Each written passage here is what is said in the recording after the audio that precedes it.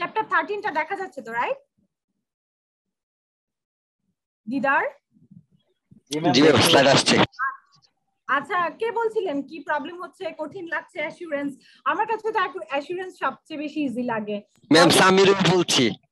হ্যাঁ সামিরুল কেন কঠিন লাগে ভাইয়া? কঠিন লাগে তো আমার ক্লাসগুলো বুঝেছেন তো? বুঝতে পারছেন তো? জি ক্লাসগুলো বুঝতে পারছি কিন্তু ম্যাম পড়ার সময় তো পড়ি মনে থাকে দেখা গেছে আপনার আচ্ছা। সকালবেলা ঘুম থেকে উঠে আর কিছু মনে পড়তে পারি না। পড়াটাকে রিলেট করে ফেলার জন্য আপনি কি আমি যেটা যেটা পড়াচ্ছি আমি তো আপনাদেরকে ফার্মের এক্সপিরিয়েন্স প্লাস মানে প্র্যাকটিক্যাল জায়গায় কোনটা এটা কাজে লাগছে কীভাবে লাগছে ওভাবে দিয়ে বোঝানোর চেষ্টা করছিলাম। তো তারপরেও কি কঠিন লাগছে যে না বইয়েরটা আলাদা জায়গা থেকে এসেছে? তা কিন্তু না আমরা যা কাজ করছি যেভাবে কাজ করছি যেভাবে আগাই অ্যাকচুয়ালি ওটা কিন্তু সেটাই হ্যাঁ? এখানে ডিফারেন্ট কোনো কিচ্ছু নাই। যা কাজ করছেন ফার্মে সেটারই একটা মানে কি বলব বুকিশ টার্ম বা বইয়ের ভাষায় যেটা সেটাই অ্যাসুরেন্সে এসেছে। একদমই বাড়তি কিছুই নাই। তো ওইভাবে চিন্তা করেন, ওইভাবে একটু ইয়া করেন, দেখবেন যে আশা করি অসুবিধা হওয়ার কথা না। ঠিক আছে? আর দাদা যেটা নিয়েছে, দাদার কি শেষ? ওই যে ইথিক্স এর চ্যাপ্টারগুলো? ম্যাম স্যার আরেকটা ক্লাস আছে হয়তো বা আহ, আরেক পরশু দিন মেবি স্যার ওই ক্লাসটা নিলে হয়তো শেষ হয়ে যাবে। আচ্ছা আচ্ছা এখন কোন চ্যাপ্টারে আছে?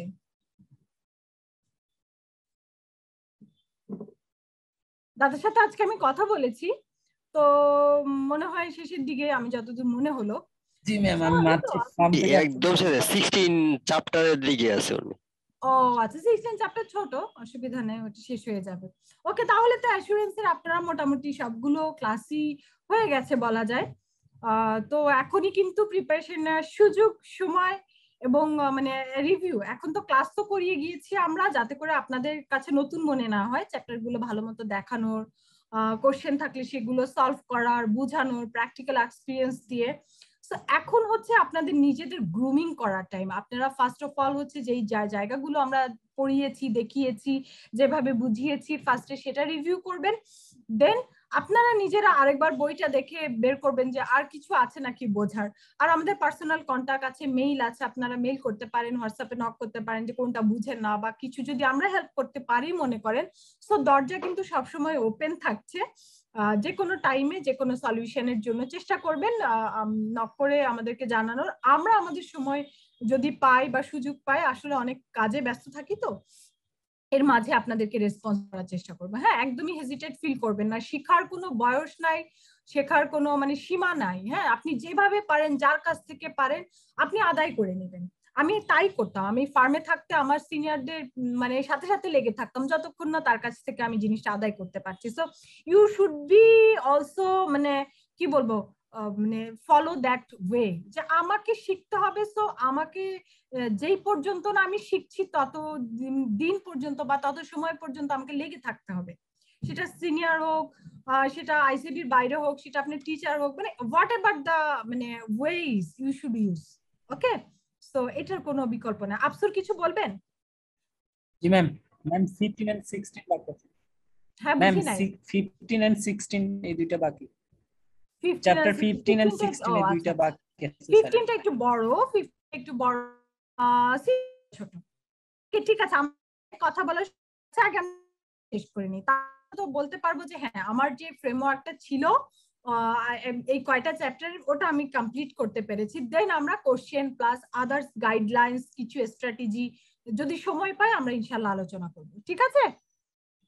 ওকে লেটস গো টু দা মানে ক্লাস ফার্স্ট চ্যাপ্টার থার্টিন আমাদের এটা হচ্ছে আমি যেটা দেখাচ্ছিলাম এটা হচ্ছে সাবস্টেন্টিভ প্রসিজার চ্যাপ্টারটার নাম। এখানে নন কারেন্ট একটু আপনাদের কাছে বই থাকলে ওটাও সাথে রাখুন, যদি কোনো কিছু আপনাদের মনে হয় জানার বা বোঝার। সো একদমই এই চ্যাপ্টারটা সবচেয়ে বেশি মজা লাগে আমার কজ অফ কেউ মানে কেউ যদি অডিট শিখতে চায় এবং তার যদি সিনিয়র না থাকে মানে মনে করেন আমাকে ছেড়ে দিল, আমি একটা অডিটে চলে গেলাম, আমার কোনো সিনিয়র নাই, আমাকে কেউ গাইড করার নাই। আমি এই বইতে এত সুন্দর করে জিনিসগুলো লেখা আছে you can easily audited non current asset তারপরে হচ্ছে গিয়ে intangible asset bank inventory receivable payable এরকম অনেকগুলো হেড এখানে দেয়া আছে। ইউ ক্যান অডিট মানে alone if you have no other supervision or something like that হ্যাঁ? এত সুন্দর করে এই জিনিসটা, এই চ্যাপ্টারটা গুছানো এই জন্য আমার ভালো লাগে যে যে কেউ এখান থেকে গাইড পাবে। সো আমরা ফার্স্টে আসি non current asset non current asset কি কি? আমাকে একটু বলেন তো, একটা প্রতিষ্ঠানে কি কি টাইপের নন কারেন্ট অ্যাসেট থাকতে পারে?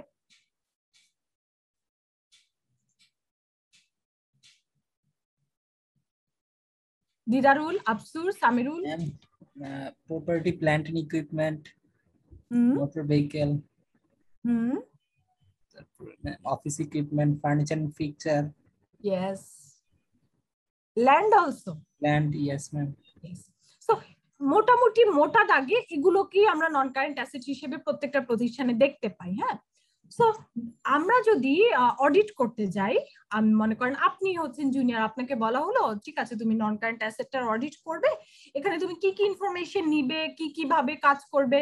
সো এটা নিয়ে আমরা আজকে কথা বলব। ফার্স্ট অফ অল হচ্ছে কি, এখানে আমার কিছু অ্যাসারশন ইউজ করব আমরা হ্যাঁ? অ্যাসারশন যেগুলো ফাইন্যান্সিয়াল স্টেটমেন্ট অ্যাসারশন পড়েছি চ্যাপ্টার ফোরে ওইখানে কিছু অ্যাসারশন আসবে। ফার্স্ট অফ অল হচ্ছে নন কারেন্ট অ্যাসেটের একটা জায়গাটা অবশ্যই কনফার্ম করতে হবে রাইটস এন্ড অব্লিগেশন ল্যান্ড হোক প্ল্যান্ট এন্ড মেশিনারি হোক ইকুইপমেন্ট হোক whatever the non current asset is rights and অব্লিগেশনটা কোম্পানির নামে আছে কিনা। সেটা দলিল দেখে দেখতে পারেন যদি ল্যান্ড হয়। প্ল্যান্ট এন্ড মেশিনারি কিংবা অফিস ইকুইপমেন্ট এগুলো যে কেনা হয়েছে ওইখানে আপনি অফিস অর্ডার প্লাস রিসিভ এই জায়গাগুলোতে দেখতে পারবেন কার কাছ থেকে কেনা হয়েছে এবং কার জন্য কেনা হয়েছে। সো যদি কোম্পানির জন্য কেনা হয়ে থাকে, তাহলে আমি বলতে পারব রাইটস এন্ড অব্লিগেশনটা কোম্পানির কাছে আছে। সো এটা কোম্পানি নন কারেন্ট অ্যাসেট হিসেবে দেখাতে পারবে। আদারওয়াইজ যদি কোম্পানি এটা না, ইয়া মানে কোম্পানির নামে না হয়, তাহলে কোম্পানি কখনোই নন কারেন্ট অ্যাসেট হিসেবে দেখাতে পারবে সেকেন্ড একদম কমন একটা জিনিস আমরা করি নন কারেন্টের অ্যাসেট ইনস্পেকশন করে থাকি রাইট যে এক্সিস্টেন্সটা চেক করি যে এটা আছে কিনা। বিশেষ করে ল্যান্ড আমরা একটু গিয়ে দেখি বা মোটর ভেহিকেল আমরা একটু গিয়ে দেখি যে এটা আসলে কোম্পানির নামে আছে এবং কোম্পানিতে ইউজ হচ্ছে, এটা কোথায় আছে? কোন জায়গায় আছে? বা ফার্নিচার পিকচার বা ল্যাপটপ বলতে পারেন আদার্স কিছু। এগুলো কোম্পানিতে একটু আমরা কি করি? ফিক্সড রেজিস্টার থেকে কিছু জিনিস পিক আপ করি এবং ফিজিক্যালি গিয়ে দেখি অ্যাকচুয়ালি এটা কোম্পানিতে আছে কিনা। তাই না? এভাবে না করি আমরা ইন্সপেকশনটা এভাবে কি না? হ্যাঁ হ্যাঁ। সো মানে আপনাদের আপনারা একটু ভিজুয়ালাইজ করেন আপনারা কীভাবে নন কারেন্ট অ্যাসেটটা অডিট করছেন। সো আমি রাইটস এন্ড অব্লিগেশনটা কনফার্ম হই যেটার মাধ্যমে ওনারশিপটা কনফার্ম হওয়া যায় রাইটস এন্ড অব্লিগেশনটা দেখি। দ্বিতীয়ত হচ্ছে আমি এক্সিস্টেন্সটা দেখি অ্যাকচুয়ালি এটা কোম্পানিতে ইউজ হচ্ছে কিনা এটা ঠিক জায়গায় আছে কিনা যে জায়গায় থাকার কথা ভালো কন্ডিশনে আছে কিনা। তারপরে দেখি ভ্যালুয়েশন মানে অর্থাৎ এটা কত দামে কেনা হয়েছে ভ্যালুটা ঠিক আছে কিনা তারপর বেশি দামে কেনা হয়েছে কিনা মানে আমাদের জাজমেন্ট থেকে যতটুকু আমরা পারি, এটার ভ্যালুটা একটু আমরা ইয়া করার চেষ্টা করি। আর হচ্ছে education depreciation rate non non current অ্যাসেটের উপরে একটাই কমন জিনিস, সেটা হচ্ছে ডেপ্রিসিয়েশন চার্জ হবেই রাইট সো ডেপ্রিসিয়েশনটা দেখি যে ডেপ্রিসিয়েশনটা ঠিক মতো চার্জ হচ্ছে কিনা ডেপ্রিসিয়েশন রেটটা কত। এমন হয় যদি বিল্ডিং এর উপরে টেন পার্সেন্ট ডেপ্রিসিয়েশন রেট ধরে রাখলে, একটা বিল্ডিং তো কখনোই দশ বছর, মাত্র দশ বছর ইউজ করা যায় তেমন না। এটা তো মিনিমাম আপনার বিশ, ত্রিশ, পঞ্চাশ বছরের হওয়া উচিত, তাই না? এই জন্য দেখবেন বিল্ডিং এর উপরে ডেপ্রিসিয়েশন টু পার্সেন্ট থ্রি পার্সেন্টের বেশি না। ল্যান্ডের উপর কোনো ডেপ্রিসিয়েশন হয় না, কারণ ল্যান্ড তো ডেপ্রিসিয়েবল অ্যামাউন্ট না, বা নন ক্যান্টাসেট না। আবার মোটর ভেহিকেল মোটর ভেহিকেলের উপরে ডেপ্রিসিয়েশন কত দেখবেন? বা ল্যাপটপের উপরে যদি কেউ ধরে রাখে টু পার্সেন্ট বা ফাইভ পার্সেন্ট একটা ল্যাপটপ কখনোই বিশ বছর যায় না বা একটা ল্যাপটপ কখনোই পঞ্চাশ বছর যায় না। সো এভাবে নন কারেন্ট অ্যাসেট বুঝে ডেপ্রিসিয়েশন রেটটা ফিক্স করা উচিত কোম্পানির আর ডেপ্রিসিয়েশন রেট যদি ওরা না বুঝে ট্যাক্সে একটা থার্ড শিডিউল আছে। নাম শুনেছেন কিনা? ট্যাক্সে থার্ড শিডিউল আছে। হ্যাঁ ওখানে একটা দেখবেন ডেপ্রিসিয়েশন রেট দেয়া আছে। সো আপনি ওটাও ফলো করতে পারেন। তো ওটা ধরে আপনি কিন্তু আপনার কোম্পানি ডেপ্রিসিয়েশন রেটটা ঠিক করতে পারেন। সো আমরা এই মোটা দাগে এই জিনিসগুলো দেখব। একটা হচ্ছে কনফার্মেশন অফ ওনারশিপ একটা হচ্ছে inspection of non current asset মানে কোম্পানিতে আসলে এক্সিস্ট করে কিনা ভ্যালুটা দেখব এবং হচ্ছে ডেপ্রিসিয়েশন রেট এর অ্যাডিকুয়েসিটা দেখব। ঠিক আছে? ম্যাম আমার একটা কোশ্চেন ছিল। হ্যাঁ হ্যাঁ আসি। ম্যাম হচ্ছে আমি শুনছি আর কি যে কোম্পানির নামে সম্পত্তিটা নয় কিন্তু কোম্পানির ওনার বা তার রিলেটিভদের নামে সম্পত্তি মানে কিছু স্থাবর সম্পত্তি কেনা হয়েছে যেমন জমি। তো কেনার পরে এগুলোকে তারা হচ্ছে কিছু এগ্রিমেন্টের মাধ্যমে তাদের অ্যাসেট হিসেবে শো করতেছে। এটা কি আসলে মানে প্রসেসটা কার? না কার নামে কেনা হয়েছে? আর কি এগ্রিমেন্ট সেই এগ্রিমেন্টের বৈধতা কতটুকু? ওই এগ্রিমেন্টের বলে আদৌ কি কোম্পানির নামে জিনিসটা হয়ে গেছে কিনা সেটা দেখতে হবে। যদি শুধু বলে যে একটা কথা হ্যাঁ তোমাকে এটা দিয়ে দিলাম বাট এটার কোনো এগ্রিমেন্টের কোনো বৈধতা নাই স্টাম টেস্টাম নাই কোনো সাক্ষী টাক্ষী নাই বা এটাকে যদি আমি দাঁড় করাই কোনো একটা মামলায় আমি জিতবো না বরং আমার কাছ থেকে সম্পত্তিটা চলে যাবে তাহলে ওইটার তো কোনো বৈধতা হইল না তাই না? সো দেখতে হবে যে রাইটস এন্ড অব্লিগেশন মানে ওই জিনিসটাকে আমি অধিকার করতে পারি কিনা আমার অধিকারে আছে কিনা এটাকে আমি পরিপূর্ণ ইউজের সুযোগ আছে কিনা এবং আমি এটা আমার নিজের বলে দাবি করতে পারার মতো ডকুমেন্টস আছে কিনা। আশি ক্লিয়ার ওকে সো এখন নর্মালি যে রিস্কগুলো নন কারেন্ট অ্যাসেটে বা ট্যানজিবল নন কারেন্ট অ্যাসেটে যে রিস্কগুলো আমরা দেখি অডিটের টাইমে সেটা একটু আলোচনা করি। দেখেন ফার্স্ট অফ অল কিন্তু দেওয়া হচ্ছে the company not actually owning the asset এতক্ষণ আশিক যেটা বলছি সেটা সূত্র ধরেই বলি যে আমার নামে অ্যাসেট না। হয়তোবা আমি আমার ফিক্সড অ্যাসেটে দেখিয়ে রেখেছি অডিটর হিসেবে আমার কাজ কি আমরা দেখব ওদের যে অডিটের মানে ফিক্সড অ্যাসেটে যা যা দেখিয়েছে সেটার লিগাল ডকুমেন্টসগুলো কালেক্ট করা এবং চেক করা পড়া আসলেই কোম্পানির নামে অ্যাসেট কিনা। কারণ এখানে ফেক ডকুমেন্টস মাঝে সাঝেই পাওয়া যায়। হ্যাঁ যে অন্যের নামে বাট কোম্পানি দেখাচ্ছে। অন্যের কাছে ল্যান্ডের সবকিছু বাট আমি আমার ল্যান্ড হিসাবে বুক করি। সেটা কিন্তু কখনোই হওয়া উচিত না। You should ensure the rights and obligation in the company's name so আমাকে এটা আগে এনশিওর করতে হবে যে কোম্পানির নামে অ্যাকচুয়ালি অ্যাসেটটা আছে এবং কোম্পানি ওন করে। সেকেন্ড হচ্ছে that not having been sold by the company আরেকটা রিস্ক হচ্ছে যে কোম্পানিতে ওইটা নাই অথবা বিক্রি করে দিয়েছে কিন্তু কোম্পানির নামে দেখাচ্ছে। এজন্যই আমরা কি করি? ইন্সপেকশন করি। আমরা এক্সিস্টেন্সটা চেক করি যে অ্যাকচুয়ালি কোম্পানিটা আছে কিনা। হয়তো দেখিয়ে রেখেছে ভেহিকেলটা কোম্পানি ইউজ করে, কিন্তু এটা কি করছে? কোম্পানির মালিক তার নিজের নামে না, বউ, ছেলে মেয়ে এরা ইউজ করছে। অথবা বিক্রি করে দিয়েছে, না জানিয়ে কিন্তু সেটাকে দেখাচ্ছে কোম্পানির অ্যাসেট হিসেবে। এজন্যই ইনস্পেকশন করতে হয় এক্সিস্টেন্স যাচাই করতে হয় অডিটরকে যাতে করে আমি বুঝতে পারি যে অ্যাকচুয়ালি এটা কোম্পানিতে আছে কিনা। থার্ড হচ্ছে omission of asset own by the company হ্যাঁ? সো এমন কিছু টাইম একটা হচ্ছে কি যে আমি ওন করছি না, কিন্তু আমার অ্যাসেটে ঢুকে আছে। আবার আরও কিছু আছে যে আমি ওন করছি বাট কোম্পানির অ্যাসেটের মধ্যে ওটা দেখানো নাই। অর্থাৎ আমি এমন কিছু দেখছি, হয়তো ডিড দিতে, দিচ্ছে তারা আমাকে। ডিডে চেক করে দেখলাম যে ডিড হচ্ছে পাঁচটা ল্যান্ডের বাট দেখাচ্ছে চারটা ল্যান্ড ঠিক আছে? আরেকটা ল্যান্ড অন্য কারও নামে বা কোম্পানির অ্যাসেটের মধ্যে বুকই করে নাই। এরকমও অনেক সময় হতে পারে। সেটাও যখন আমরা অডিট করতে যাব চেক করব, যদি আমাদের চোখে পড়ে, আমাদের কাছে যদি ইনফরমেশন থাকে যে এটা কোম্পানির অ্যাসেট বাট কোম্পানি দেখাচ্ছে না, সেটাও সাজেস্ট করব তাদেরকে যাতে করে নন কারেন্ট অ্যাসেটে ইনক্লুড করে। ফোর্থ হচ্ছে the asset being over valued under by inflating cost এটা তো ডেফিনেটলি যে আপনি যদি আন্ডার চার্জিং ডেপ্রিসিয়েশন যদি আন্ডার চার্জ করেন অথবা যদি ওভার ভ্যালু করে থাকেন, তাহলে কোম্পানিতে ওইটার ভ্যালু বেশি দেখা। মনে করেন একটা ল্যাপটপ আমি এখন ইউজ করছি, আমার সামনে যেটা আছে, এটা হচ্ছে ডেলের ল্যাপটপ স্যার এটা হাইস্ট কত হবে? পঁয়ত্রিশ, চল্লিশ বা পঞ্চাশের মধ্যে হবে। এখন যদি কেউ এরকম একটা ল্যাপটপের কনফিগারেশন আপনারা তো জানবেনই ডিটেলস যেহেতু দেয়া থাকে সার্চ দিলেন, এটার প্রাইস কি? একটা কিন্তু প্রাইস আসবে মার্কেট প্রাইস কেমন কি? অডিটর হিসেবে আপনি কিন্তু যাচাই করার সুযোগ আছে। দেখলেন যে এই ধরনের একটা ল্যাপটপ দেখিয়ে রেখেছে আশি হাজার টাকা। এটা তো ইম্পসিবল বা এক লাখ টাকা ইম্পসিবল কারণ এই অ্যাসেটের ভ্যালু কখনোই বা এই ল্যাপটপের ভ্যালু কখনোই এত হতে পারে না। সো এখানেও আমার কাটাতে হবে যে কোনো অ্যাসেট কি ওভার ভ্যালু হয়ে আছে কিনা? বা ডেপ্রিসিয়েশন কি আন্ডার চার্জিং কিনা? ওই যেটা বলছিলাম যে ল্যান্ডের ডেপ্রিসিয়েশন টেন পার্সেন্ট এটা অ্যাবসার্ড বা ল্যাপটপের ডেপ্রিসিয়েশন টু পার্সেন্ট বা ফাইভ পার্সেন্ট এটা অ্যাবসার্ড আপনি দেখলেই বুঝবেন কোনটা কতদিন যাবে। সো ওইভাবে কিন্তু ডেপ্রিসিয়েশন রেটটা সেট করা উচিত আমাদের, ঠিক আছে? The asset being under value আবার এমন টাইমে হতে পারে যে অ্যাসেটকে আন্ডার ভ্যালু করা হচ্ছে। বেশি ডেপ্রিসিয়েশন চার্জ করে আন্ডার ভ্যালু করা হচ্ছে, যে যেটা বলছিলাম যে বিল্ডিং এর ক্ষেত্রে দশ পার্সেন্ট যদি আপনি ডেপ্রিসিয়েশন দেন, তাহলে দশ বছর যাবে মাত্র বিল্ডিং তার মানে কি? এটাকে আপনি আন্ডার ভ্যালু করলেন বিল্ডিংটাকে হ্যাঁ? ডেপ্রিসিয়েশন রেট ওভার চার্জ করে। বা রিভ্যালু হওয়ার কথা। মনে করেন একটা জিনিস আপনি এখন যদি এটাকে রিভ্যালুয়েশনে নেন, এটার হয়তো বা আরও মানে দামটা আপনি একটু ইয়া পাবেন। বিশেষ করে কিছু কিছু জিনিস যেটা কিনা মনে করেন দুই তিন বছর বা পাঁচ বছরের জন্য আমি ডেপ্রিসিয়েশন চার্জ করলাম, দেখলাম যে না এটা দুই তিন পাঁচ বছরের মধ্যে হয়তো বা ভ্যানিশ হয়ে যেতে পারে। ধরি, একটা উদাহরণ দিই আমি। ডেলের এই ল্যাপটপের কথাই বলি।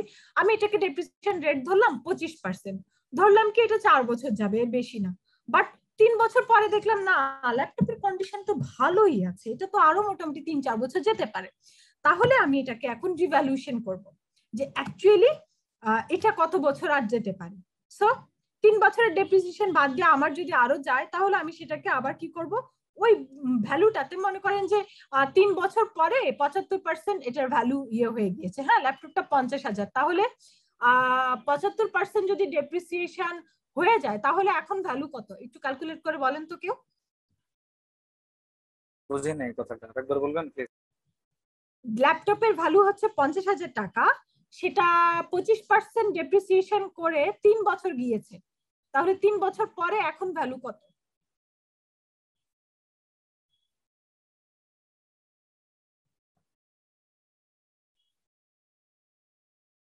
বলেন। হাজার পাঁচশো টাকা ম্যাম ওর ডেপ্রিসিয়েশন হয়েছে। বারো হাজার পাঁচশো টাকা। বারো হাজার পাঁচশো।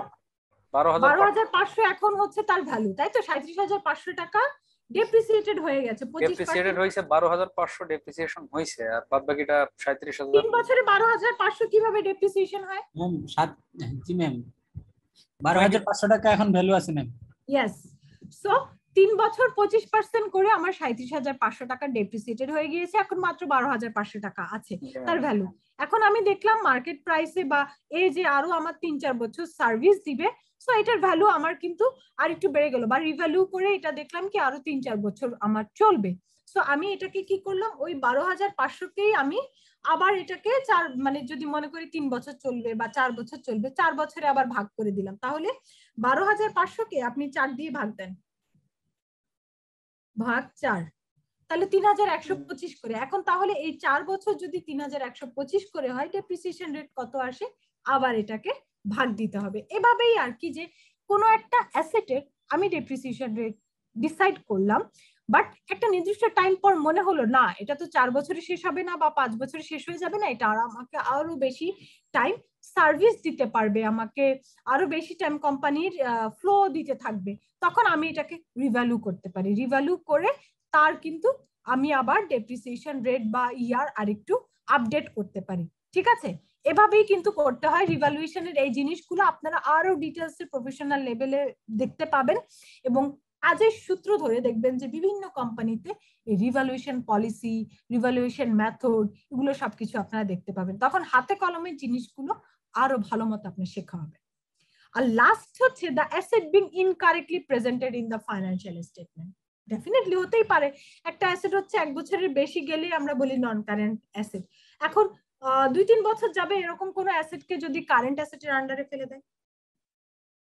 এটাও তো wrong presentation right so auditor হিসেবে আমাকে এটাও দেখতে হবে যে এরকম কোনো কিছু আছে কিনা যেটা কিনা রং প্রেজেন্টেড হয়ে আছে। সো দেখেন, আপনাকে কিন্তু ইজিলি এই যে স্লাইডটা দেখতে পাচ্ছেন ইজিলি যে কেউ এখন অডিট করতে যান ফিক্সড অ্যাসেট অডিট আমাকে এখন বলেন আপনারা কি কি দেখবেন? যে কোনো একজন বলেন যে হ্যাঁ এটা এটা আমি এখন দেখব যদি আমাকে কেউ ফিক্সড অ্যাসেট অডিটে পাঠায়।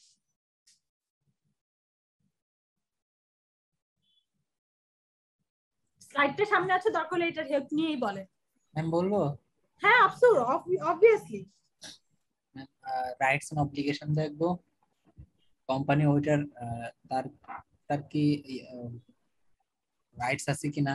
যে কোম্পানি কি সেটা আমরা দেখব কীভাবে ডকুমেন্টস থেকে ল্যান্ড হলে ল্যান্ডের এগ্রিমেন্ট ডকুমেন্টস আদার্স জিনিস হলে সেগুলোর পারচেজ ডকুমেন্টস বা আদার্স জিনিস দেখে দেখব রাইট জি ম্যাম ওকে তারপর? তারপর কি দেখব? আপনাকে আমরা অ্যাকচুয়ালি ফিজিক্যাল এক্সিস্টেন্সটা মানে খেয়াল করব যে তার ফিজিক্যাল এক্সিস্টেন্স আসলেই আছে কিনা এটাকে আন্ডার ভ্যালুড করা হয়েছে কিনা কিংবা ওভার ভ্যালুড করা হয়েছে কিনা। এবং এর ভাই যেটা বললেন আর কি রাইটস এন্ড অব্লিগেশনস এটা মানে প্রপারলি মেনটেন করা হয়েছে কিনা। করতে হবে।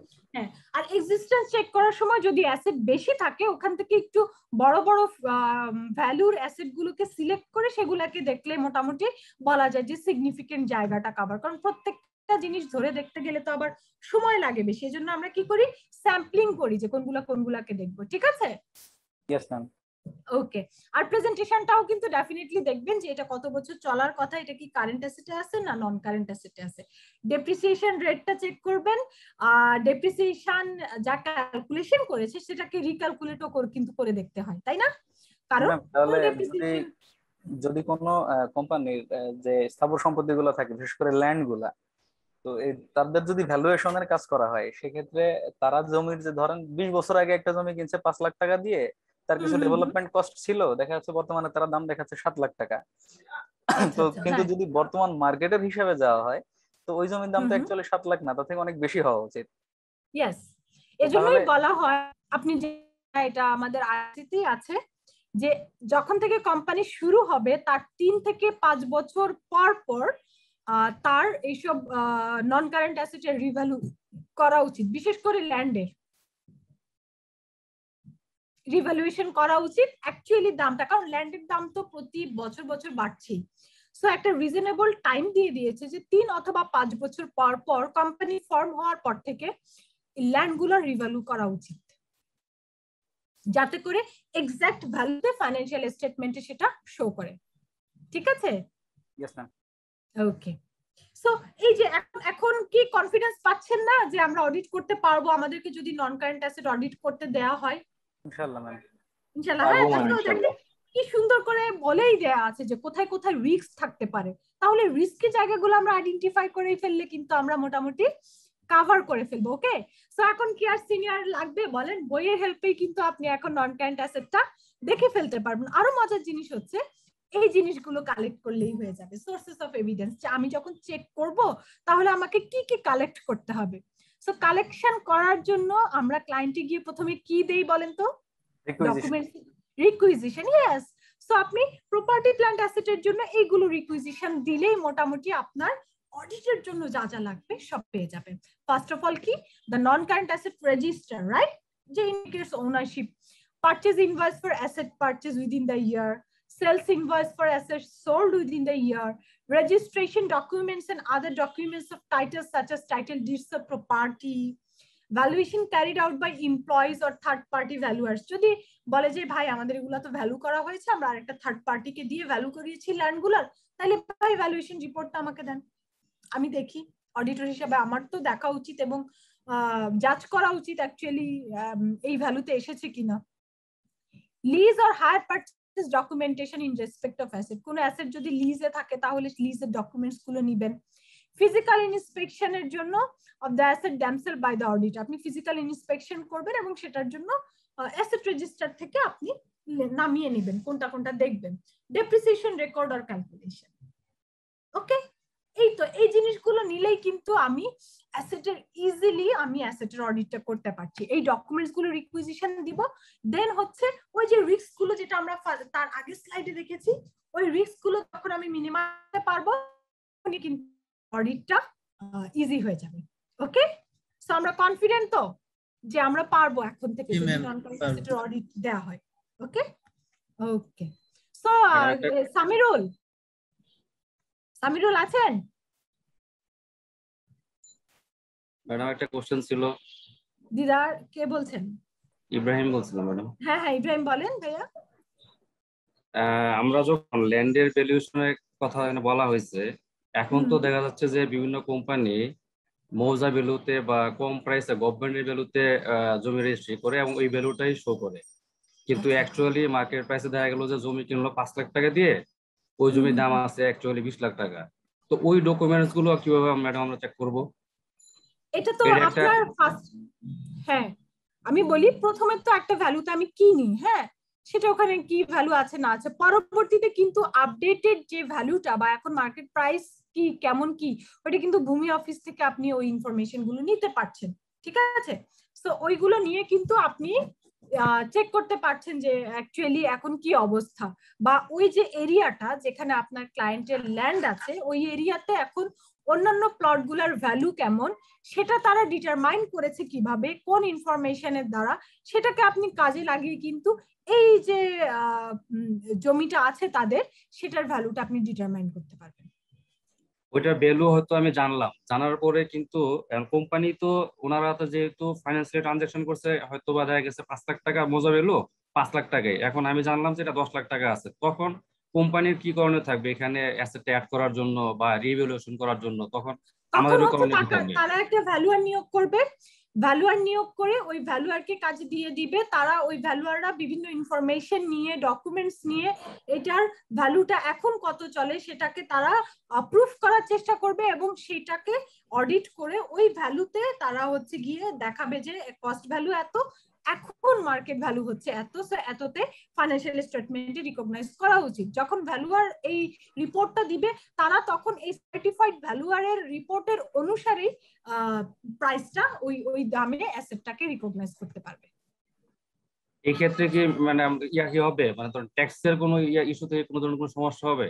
কারণ ট্যাক্সের ইস্যুতে কি হয়? ধরুন যদি ফিক্সড অ্যাসেটের দাম থাকে সে পাঁচ লাখ টাকা এখন রেজিস্ট্রি ভ্যালুতে পাঁচ লাখ টাকা সে ডকুমেন্ট শো করতে পারতেছে। এখন আমি থার্ড পার্টি একটা ভ্যালুয়ার দিয়ে রিভ্যালুয়েশন করলাম সে দশ লাখ টাকা। তখন এটা কি ট্যাক্স অফিস বা অন্যান্য গভর্নমেন্ট অথরিটিস কি মানবে? সেই ভ্যালুয়ার যদি আপনার গ্রহণযোগ্য ভ্যালুয়ার হয় এমন আছে হয়তো রাস্তা থেকে ধরে নিয়ে আসলেন দুই হাজার টাকা দিয়ে ওরকম না।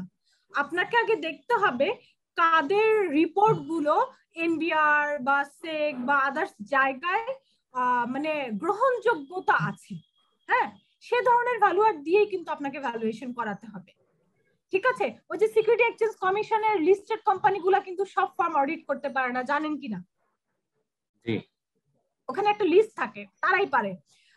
সব ব্যাংক ব্যাংকগুলা কিন্তু সব ফার্ম অডিট করতে পারে না এটা জানেন কিনা? বাংলাদেশ ব্যাংকের একটা লিস্টিং হতে হয়। তো এরকমও ভ্যালুয়েশনের জন্য লিস্ট কোম্পানি যেটা কিনা সিকিউরিটি এক্সচেঞ্জ বা আদার্স জায়গায় গ্রহণযোগ্যতা আছে যাদের তাদেরকে দিয়েই করাবে কোম্পানি ওকে ঠিক আছে জি ওকে হ্যাঁ। ঠিক আছে। এখন আমরা আসি ইনটেনজিবল অ্যাসেট ইনটেনজিবল অ্যাসেটের উদাহরণ দেন তো।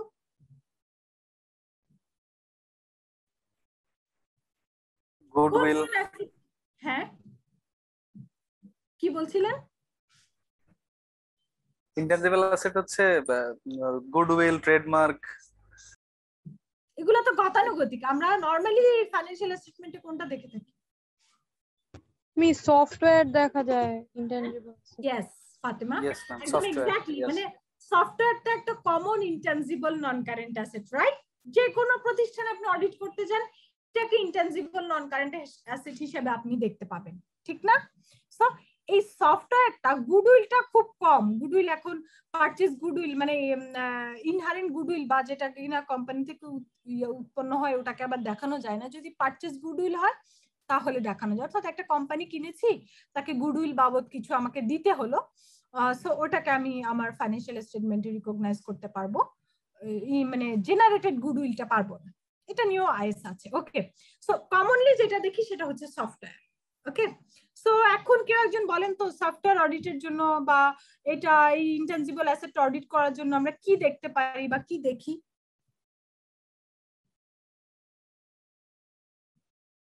ওই কিছু কিছু তো ট্যানজিবলের সাথে মিল আছেই। ম্যাডাম, এখানে যে সফটওয়্যার কোম্পানি থেকে আমরা সফটওয়্যারটা নিলাম ওনাদের সাথে আমাদের এগ্রিমেন্ট কি আছে এগ্রিমেন্ট ক্লজ কি আছে ওনাদের কোন মেইনটেনেন্স ইয়ারলি মেইনটেনেন্স কি আছে কিনা কিংবা ওনাদের মানে এক বছর বা দু বছর পরে এটা কি হারে ইনক্রিজ হবে এগুলো টার্মস এন্ড কন্ডিশনগুলো আমরা দেখতে পারি। হুম তারপরে এটার কি এক্সিস্টেন্স দেখার দেখেন কীভাবে? এক্সিস্টেন্সটা চেক করেন কীভাবে? এখানে তো ম্যাডাম মানে যেসব কোম্পানিগুলো মানে যদি বড় সফটওয়্যার যদি আমরা ইআরপির কথা বলি সেক্ষেত্রে তো অনেক ভ্যালু হয়েছে পঞ্চাশ লাখ টাকা এক কোটি টাকা দুই কোটি টাকা বা পাঁচ কোটি টাকা হতে পারে। সেই ক্ষেত্রে কোম্পানিটা আমার মানে যে কোম্পানি আমরা ওয়েট করতে যাচ্ছি, এই কোম্পানির সাথে যারা সফটওয়্যারটা প্রোভাইড করতেছে, ওই কোম্পানির কি ধরনের ডিডো অ্যাগ্রিমেন্ট হয়েছে এবং ওনাদের যে ট্রানজাকশনটা ওইটা ব্যাংক টু ব্যাংক ট্রানজাকশন হয়েছে কিনা, এই সমস্ত বিষয়গুলো আমরা দেখতে পারি।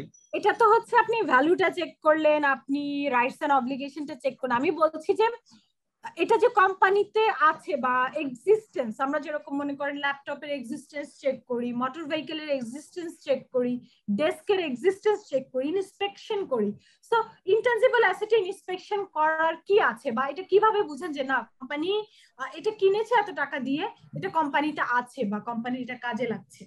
এটা তো এটা intangible- ওনাদের, আহ, এই ক্ষেত্রে ম্যাডাম ধরেন আমরা যে কয়টা ওনারা ইয়ে নিবে আহ, সে যদি মডিউল নিবে দেখা গেল যে মার্কেটিং মডিউল নিল ইনভেন্টরি মডিউল নিল বা সেলস প্রোডাকশনের জন্য মডিউল নিল।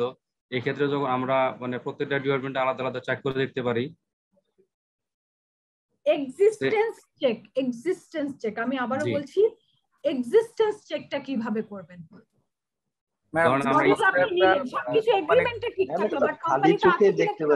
কোম্পানিটা যে সফটওয়্যারটা ব্যবহার করে তার কার্যক্রমগুলো সম্পন্ন করতেছে আমরা সরাসরি সেখানেই তো মানে যখন ম্যাডাম আমরা ইনভেন্টরি চেক করতে গেলাম স্টোরে গেলাম ওরা কি আসলে স্টোর লেজারের সাথে আসলে কি ওরা কি ম্যানুয়াল লেজার মেন্ট্রি করতেছে নাকি সফটওয়্যার থেকে আমি করতেছে?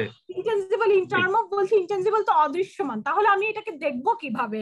এটাকে ছুবো কীভাবে? এটা কিন্তু দেখা ইয়া ছোঁয়ার বিষয় না। এটা ওই যে তারা সফটওয়্যার ইউজ করছে আপনার ভাউচার বলেন ledger trial balance financial statement সব কিন্তু সফটওয়্যার থেকে বের হচ্ছে। কিন্তু একটা আপনার এভিডেন্স যে হ্যাঁ তারা এই সফটওয়্যারটা ইউজ করছে, এই সফটওয়্যারটা তাদের কোম্পানিতে আছে। সো আমার কিন্তু ডকুমেন্টসগুলা বা তাদের সার্ভার রুমটা চেক করতে পারি বা তারা যে সফটওয়্যার নিয়ে কাজ কারও একজনের সাথে আমি দাঁড়ায় ভাই, আপনার কীভাবে কীভাবে কাজ করেন? একটু দেখি বা আপনাদের এখানে অ্যাপ্রুভাল কীভাবে হয় সফটওয়্যারে কি হয়, না হয়? আপনি এই যে একটু কথার মাধ্যমে যখন আপনি তাদের এগুলো দেখবেন তখনই আপনি বুঝবেন যে এত টাকা দিয়ে যে জিনিসটা কিনেছে এটার এক্সিস্টেন্স আছে এটা কাজে লাগছে এবং এটা কোম্পানিতে এক্সিস্ট করে রাইট ma'am.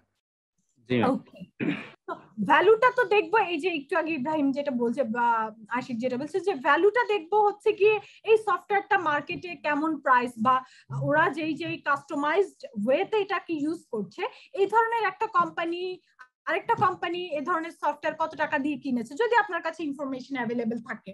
বাট সেম হওয়ার কথা না কারণ এক একটা কোম্পানির চাহিদা এক এক রকম চাহিদা অনুসারে কিন্তু ডিপেন্ড করে কস্টটা রাইট যে আমার কোম্পানিতে এই কয়টা লাগবে এর বেশি না। সো আমার কস্ট আর আরেকটা কোম্পানিতে হিউজ পরিমাণ রিকোয়ারমেন্ট থাকে তার কস্ট তো নিশ্চয়ই এক হবে না।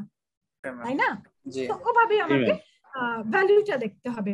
আমি তারপরে হচ্ছে ইনটেনজিবল অ্যাসেটের ক্ষেত্রে ডেপ্রিসিয়েশন না বলে অ্যামোর্টাইজেশন ওয়ার্ডটা ইউজ করা হয় বাট ডেপ্রিসিয়েশনের মতোই এটা যে অ্যাকচুয়ালি এটা কত বছর সফটওয়্যারটা আমাকে সার্ভিস দিবে কত বছর পর তাকে আবার রিনিউ করতে হবে কিংবা কি অবস্থা আমাকে আবার নতুন সফটওয়্যার কিনতে হবে কিনা এগুলোর উপর ডিপেন্ড করে এটা রেটটা ঠিক করা হয় এবং ওই রেটে কোম্পানি অ্যামোর্টাইজেশন রেটটা চার্জ করে ঠিক আছে? পার্সেন্টেজটা ওভাবেই হয়। Intangible asset being carried out at the wrong cost or valuation due to impairment review হ্যাঁ?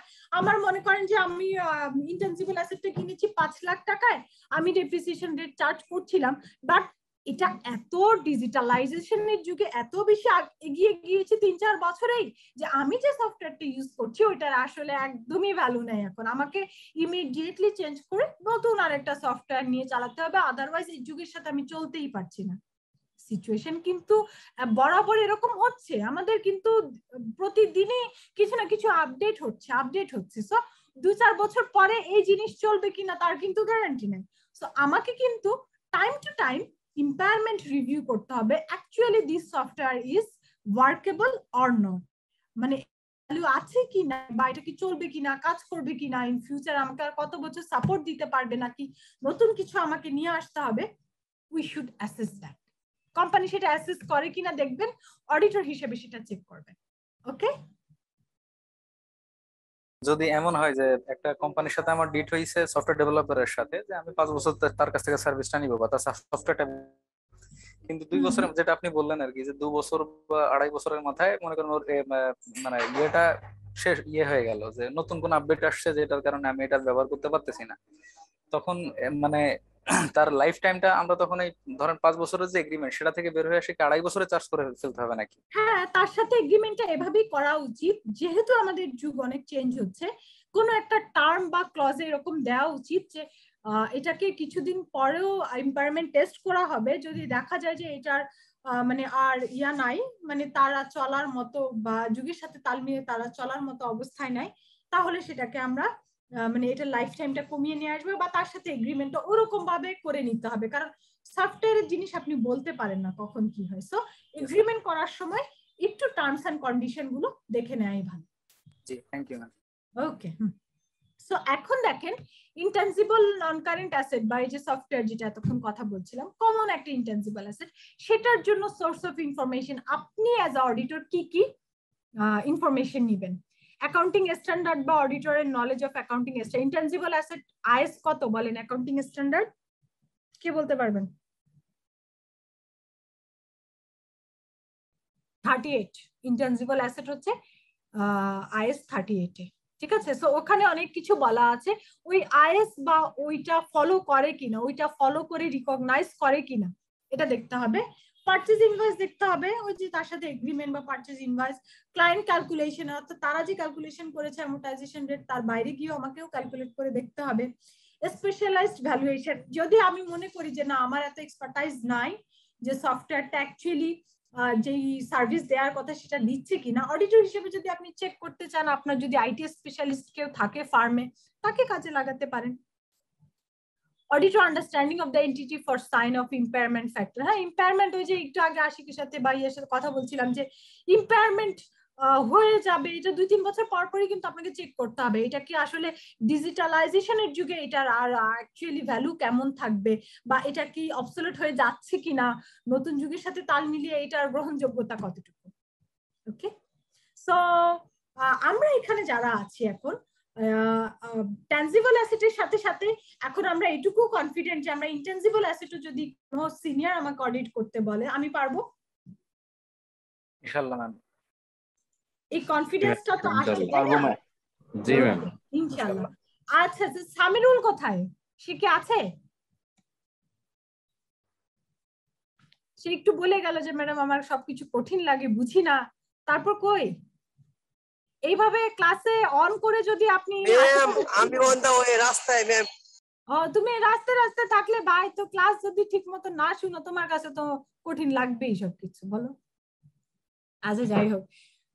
যে যে অবস্থায় থাকেন মানে জয়েন করছেন এটা বাট সামিরুল আপনি শুনলে ভালো বা আমাদের জন্য শুনতে পাচ্ছেন কি আপনাকে কিন্তু আমরা যেভাবে এই যে এখন যে দুইটা আলোচনা তো এইটুকু confident যে আমরা এগুলো অডিট করতে পারব। সো এভাবেই কিন্তু আমি প্রত্যেকটা চ্যাপ্টারে আপনাদেরকে কনফিডেন্ট দেওয়ার চেষ্টা করেছি যে এগুলো নতুন কিছু না। আমরা যা দেখছি করছি ফার্মে ফেস করছি যেভাবে কাজ করছি ওইটাই এর বাইরে কিচ্ছু না।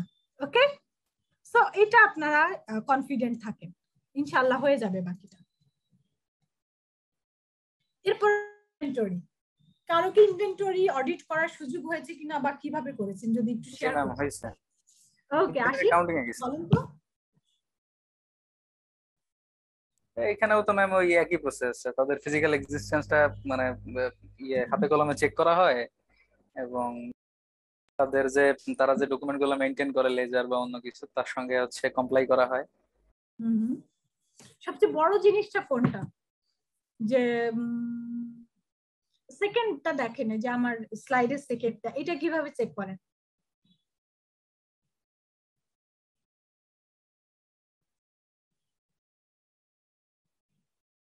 আসি এটা কীভাবে চেক করেন একটু বলেন তো? এই যে সেকেন্ড যেটা দেখতে পাচ্ছি valuation at the lower of cost and neutralisable value মানে যে পণ্যটা কিনছে আর কি যেটা আছে তার যে প্রাইস ওরা শো করতেছে তার যে মানে অ্যাকচুয়াল যে প্রাইস এর ভেরিয়েন্সটা আসলে তো ম্যাম যেটা মানে কম হয় সেটাকেই সাধারণত নেয়। এটা আমার আইএস টু তে সাজেস্ট করেছে।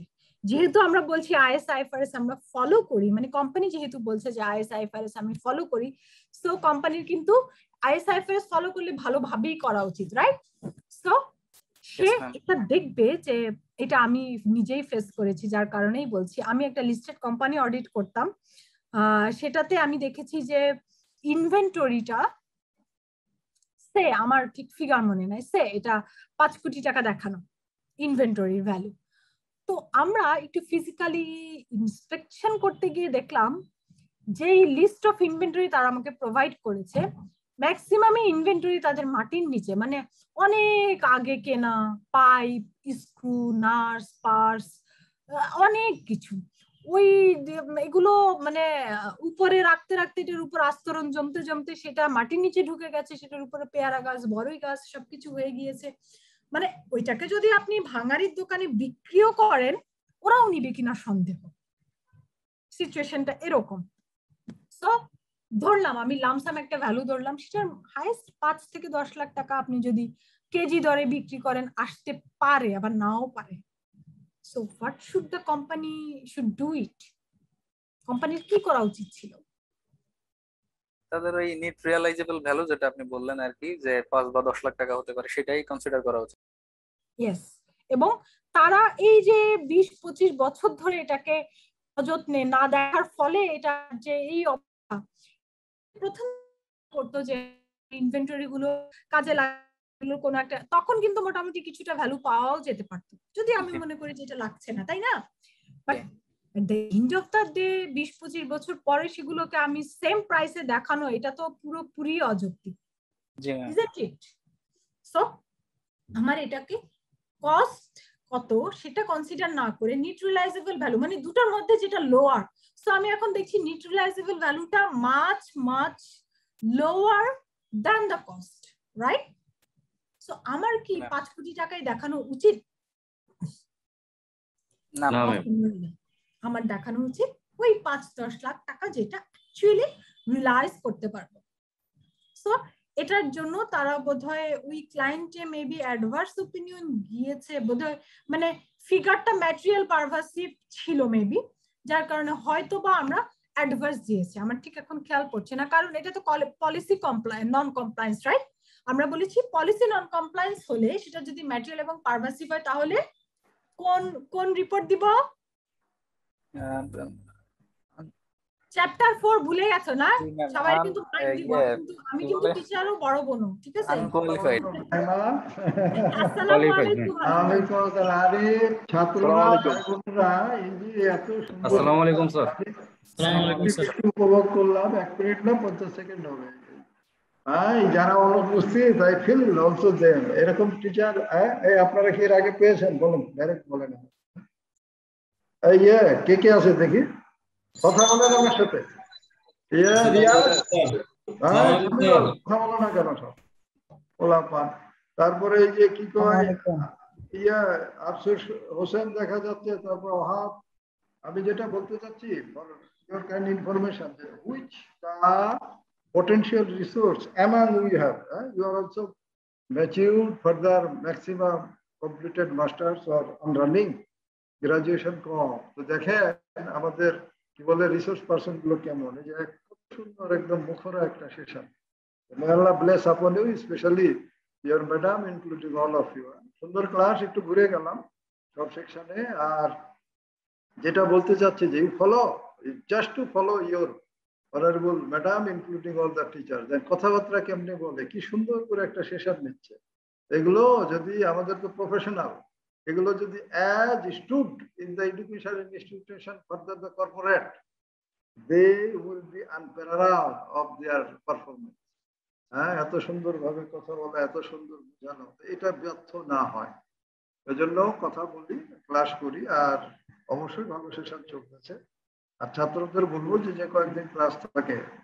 ম্যাডাম যদি আজ required for further of the revision class or reviewing will increase no problem এই জন্য ম্যাডাম যদি বলেন আরও ক্লাস লাগবে ক্লাস চলছে চলবে in the interest of you no problem we can also increase as taken of norms of the practices no problem.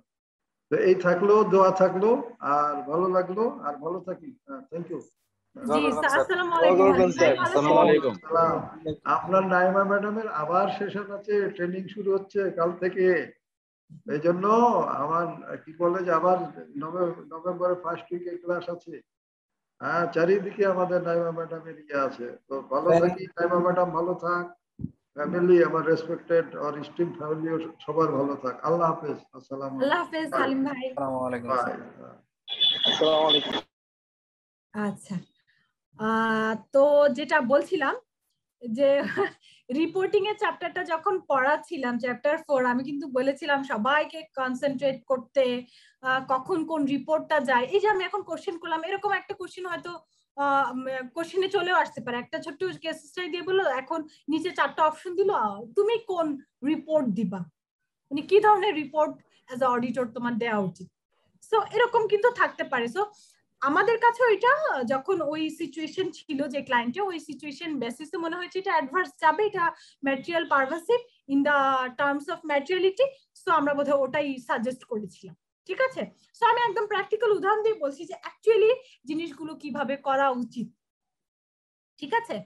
So inventory যদি আপনার ম্যানুফ্যাকচারিং কোম্পানি অডিট করার সুযোগ হয় ইনভেন্টরি হচ্ছে একটা মাস্ট আইটেম এটা থাকবেই। এনজিওতে নর্মালি এটা একটু মানে ছোটখাটো কিছু জিনিস থাকে, ওইটা ফিক্সড অ্যাসেটই থাকে ইনভেন্টরি ওভাবে ইনভেন্টরি টার্মে থাকে না বাট ম্যানুফ্যাকচারিং এ এটা একদম কমন একটা টার্ম সো ইনভেন্টরি যদি হয় আমার অডিটের একটা লাইন আইটেম আমি কীভাবে অডিট করব অ্যাজ অডিটর হিসেবে? ফার্স্ট হচ্ছে অ্যাটেন্ডিং অ্যান্ড ইনভেন্টরি কাউন্ট এটা তো বোধহয় আমরা ত্রিশে জুন এন্ডিং এ বোধহয় কোভিড এর কারণে অনেকে যেতে পারেনি বাট পরবর্তীতে কিছু কিছু প্রতিষ্ঠান হয়তো করিয়েছে রাইট যে ইনভেন্টরি কাউন্টিংটা ইয়েস সো এটা একটা কমন পার্ট এটা করতেই হবে যে অ্যাকচুয়ালি কত আছে?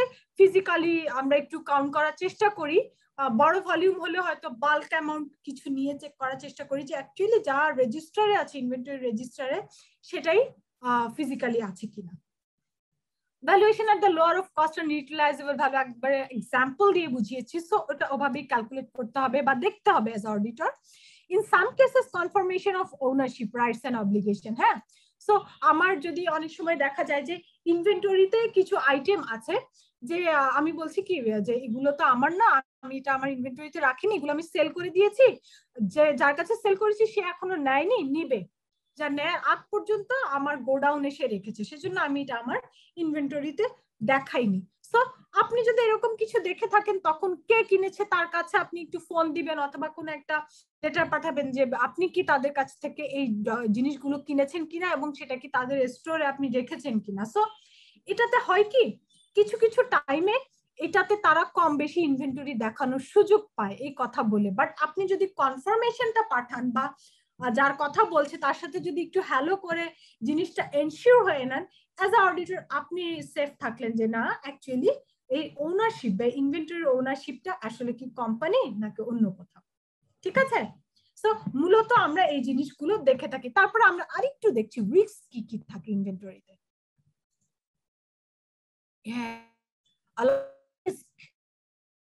হুম, আশিক, একটা একটা করে একটু পড়েন তো, দেখেন তো যে আমরা কীভাবে এগুলোকে চেক করি। মানে এগুলো রিস্ক যে যে যদি কেউ ইনভেন্টরি অডিট করতে যান এই রিস্কগুলো মাথায় রাখবেন যে হ্যাঁ এই রিস্কগুলো হতে পারে। আশিক একটু পড়েন আমরা বুঝি একটা একটা করে। Yes ma'am. Inventory that does not exist being included in the financial statement. Yes. আমি চেক করতে গিয়ে দেখলাম কি যে মানে যে ফাইন্যান্সিয়াল স্টেটমেন্টে যে ইনভেন্টরি দেখাচ্ছে সেটাই তো রেজিস্টারে আছে তাই না? বাট ফিজিক্যালি গিয়ে দেখলাম যে ওই ইনভেন্টরিটা নাই। হতে পারে। এজন্যই জি not all inventory that exists being included in financial statement yes not all inventory that exists being included in the financial statement so ওই রেজিস্টারে দেখলাম কি এত এত ইনভেন্টরি yes বাট আমি ফিজিক্যালি গিয়ে দেখলাম যা আছে তার চাইতে ফিজিক্যালি আরও বেশি আছে ইনভেন্টরি এবং তার কোনো ব্যাখ্যাও নাই। ওই যে একটু আগে যেটা বললাম কিছু টাইম হতে পারে যে হ্যাঁ আমি তার কাছে সেল করে দিয়েছি সে জিনিসগুলো নিবে। ইন দ্য মিন টাইম কয়েকটা দিনের পার্থক্যে ইনভেন্টরিতে হয়তো আমার গুদামে আছে সেটা বেশি শো করতে পারে। বাট এই রিজন ছাড়া অন্য কোনো রিজনে যদি বেশি থাকে রিজন যদি তারা ক্লিয়ার করতে না পারে তাহলে ডেফিনেটলি ওই ইনভেন্টরি গুলো ফাইন্যান্সিয়াল স্টেটমেন্টে ইনক্লুড করা উচিত। ওকে ওকে নরমালি তো ম্যাম ক্ষেত্রে তাদের যে মানে ইয়েটা থাকে তারা তো বলে যে আমরা কিনছি জিনিসটা মানে এখন আমরা ইয়ে করতে পারি নাই লেজার ইনপুট দিতে পারি নাই বা পারচেজ ডকুমেন্টস দেখবেন কোন দিন কিনেছে পারচেজ ডকুমেন্টস দেখবেন। ইয়েস ম্যাম কতদিনের মধ্যে ইনক্লুড করার নিয়ম সেটা দেখবেন পলিসি দেখবেন তাহলেই তো হয়ে গেল। ইয়েস ম্যাম যদি দেখেন কালকে কিনেছে হ্যাঁ এটা রিজনেবল হতে পারে। কালকে কিনেছে একটু তো ইনপুট দিতে টাইম লাগে বা তার দুই তিন দিন আগে কিনেছে মাঝখানে বন্ধ ছিল। এটা ইনপুট দিয়ে ইনভেন্টরি রেজিস্টার ঢুকাতে পারেনি। রিজনেবল কস্ট ছাড়া আমি এটা ওই জন্যই জোর দিয়ে বলেছি রিজনেবল কস্ট ছাড়া কাউন্ট করা উচিত না right number three inventory being included in the financial statement at full value when it is obsolete or damage actually যেটা আমি এক্সাম্পল দিয়েছি ইয়েস ম্যাম মানে এটা clear then number inventory included in the statement wrong value, whether miscalculation or of cost or the fact that cost has been used although net realizable value is lower than cost. Yes মানে financial স্টেটমেন্টে যে ভ্যালুতে include করা হয়েছে এটা রং হতে পারে কস্টটা মিসক্যালকুলেট হয়েছে অর্থাৎ কিনেছে হয়তো পাঁচ লাখ টাকায় দেখাচ্ছে চার লাখ পঞ্চাশ ভুলে হয়তো বা আহ, ইয়ে হয়েছে। সেটা আমরা কীভাবে অডিট করব? আমরা বেস ডকুমেন্টস তো দেখব সোর্স অফ ডকুমেন্টস ওখানেই কিন্তু মোটামুটি ভ্যালু কত ছিল সেটা এনশিওর হওয়া যাবে। আর আরেকটা রং ভ্যালু কীরকম ভাবে ওই যে নিউট্রালাইজেবল ভ্যালু যদি লোয়ার হয় কস্টের চাইতে তাহলে নিউট্রালাইজেবল ভ্যালুতে দেখানো উচিত যেটা কিনা আমি দেখিয়েছি কস্ট ভ্যালুতে তাহলে এটাও কিন্তু একটা wrong valuation Yes, ma'am. Okay then Fifth হচ্ছে inventory that calcul- uh, actually belongs to third parties being included in the financial statement. যেটা বলছিলাম যে আমার গোডাউনে থাকতে পারে। আমি কি করছি? ওটাকে থার্ড পার্টি না দেখিয়ে মাঝে মধ্যে আমার ইনভেন্টরিতে ইনক্লুড করে ফেলছি। তাহলে আমার ইনভেন্টরি বেশি দেখাচ্ছে? Sixth, inventory which was actually, uh, which has actually been sold in, included in the financial. হ্যাঁ কাট অফ পিরিয়ডে মনে করেন থার্টি জুন হচ্ছে আমার ফাইন্যান্সিয়াল স্টেটমেন্টের কাট অফ পিরিয়ড আমি কি করছি? এই টাইমে আমার ফাইন্যান্সিয়াল স্টেটমেন্টে যে ভ্যালু আছে ইনভেন্টরির আমি দেখলাম কি, এটার কিছু জিনিস সোল্ড হয়ে গিয়েছে বাট সবকিছু ডকুমেন্টেড হয়ে এটা বের হতে হয়তো দু চার দিন টাইম লেগে যাচ্ছে। তো এই টাইমের মধ্যে ইনভেন্টরি ফাইন্যান্সিয়াল স্টেটমেন্টে দেখা যাচ্ছে যে এই যে টাইমিং একটা গ্যাপ আপনি আপনি কখন সেল হিসেবে দেখাতে পারবেন? যখন ইনভয়েস হয়ে যাবে রেকর্ড হয়ে যাবে, তখন বলতে পারবেন এটা সোল্ড তার আগে না। এখন আমার ইনভয়েস হয়নি বাট তার সাথে শুধুমাত্র কথাবার্তা হয়েছে আমি কিন্তু এটাকে সেল হিসেবে দেখাতে পারব না। কারণ সেল হিসেবে দেখাতে হলে ইনভয়েস লাগবে রেকর্ড লাগবে. এই কাট অফ টাইমে আপনারা কি করবেন প্রত্যেক সময় অডিটে এই যে লাস্ট মান্থ যেটা থাকে বিশেষ করে জুন সেই মান্থের ইনভেন্টরিটা ভালো করে চেক করবেন। সেল পারচেজ এগুলো ভালো করে চেক করবেন যে অ্যাকচুয়ালি সেল হয়ে গিয়েছে অথচ দেখাচ্ছে বা পারচেজ করেছে অথচ দেখাচ্ছে না এরকম কোনো কিছু আছে কিনা? ওকে. এই তো এইগুলো হচ্ছে রিস্ক সো এই রিস্কগুলো মিনিমাইজ করতে হবে কীভাবে? আমি তো বলেই দিয়েছি অডিট করবেন কীভাবে? আর এগুলো চেক করার জন্য আমরা কি নিব? এটা একটু দিদার করেন তো এখানে কি কি আছে যে আমরা কি নিব ইনভেন্টরি যদি অডিট করতে চাই? দিদারুল হ্যাঁ। বাইরে নাকি? আচ্ছা রিয়াদ কি বাসায়? জি ম্যাম। আচ্ছা রিয়াদ একটু পরে তো সোর্সেস অফ ইনফরমেশন কি কালেক্ট ইনভেন্টরি অডিট করি? এই যে এখানে দেয়া আছে একটু পরেন আমরা ব্যাখ্যা করি। of information uh, first of all companies controls over inventory counting yes inventory counting যদি ওরা বাইরের কাউকে করায় সেই রিপোর্টটা আমরা নিব অথবা আমরা তারা ইন হাউস যদি কেউ করে থাকে সেটাও নিব। আবার আমাদেরকে যদি ইনভেন্টরি কাউন্টিং এর ডাকা হয় তখন অডিটের টাইমে আমরা কি রিপোর্ট দিয়েছি সেটা আমরা আমাদের কাছে রাখব। the auditor's attendance at the annual inventory count এটা ফার্স্টেরটাতেই বলে ফেলেছি। সো অডিটর যে অ্যাটেন্ড করেছে সেই ডকুমেন্টসটা থাকবে প্লাস কোম্পানি যদি কোম্পানির কিন্তু পলিসি থাকে ম্যাক্সিমাম কোম্পানিরই পলিসি যে তাদের সিক্স মান্থলি হতে পারে আবার বেশি যদি মুভিং ইনভেন্টরি হয় মান্থলিও ওরা কিন্তু একটা ভ্যালু করে কাউন্ট করে। সেই রিপোর্টগুলো কিন্তু আমাদেরকে কালেক্ট করতে হবে। ম্যাম যে পলিসি আর হচ্ছে কি আপনার এসওপি হ্যাঁ হ্যাঁ সেম পলিসি এসওপি এসওপিটা হচ্ছে গিয়ে একটু ডিটেইলড আর ধরেন প্রসেস প্রসেসটাই তো ম্যাম এসওপি আর. পলিসি এসওপি প্রসেস মানে এই তিনটার মধ্যে ম্যাম এক একজন এক একটা ইউজ করে। কারও হচ্ছে কি এসওপি তো অনেক প্রত্যেকটা লাইন আইটেমের জন্য অনেক মানে এ গাইডলাইন থাকে। সো এটা অনেক সময় অনেকে ইমপ্লিমেন্ট করতে পারে না। ম্যাম আমরা যতদূর জানি যে একটা প্রসেসের শুরু থেকে শেষ পর্যন্ত কি হয় একটা ডিপার্টমেন্টের মানে প্রোডাকশন লাইনের ওইটা এসওপি এসওপি বা প্রসেস পলিসিটা তাহলে কি ম্যাম? পলিসিটা হচ্ছে শর্ট ভার্সন মানে আপনাকে এই যে একটা পেজের হাফ পেজ লিখলো হ্যাঁ ইনভেন্টরি আমরা এভাবে এভাবে করে থাকি মানে কোনো প্রসেস নাই কোনো চার্ট নাই কোনো প্যারা মানে ইয়া দিয়ে পয়েন্ট অনেক সময় হয় না ডায়াগ্রাম দিয়ে বুঝিয়ে দেয়া প্রত্যেকটা জিনিসের একদম ডিটেলস ব্যাখ্যা থাকা এরকম কিছু পলিসিতে থাকবে আচ্ছা তাহলে এসওপি তো হচ্ছে ডিটেইলস ইয়েস আর প্রসেস ম্যাম তো এসওপি তে প্রসেস প্রসেস এসওপি সেমই বলা যায়।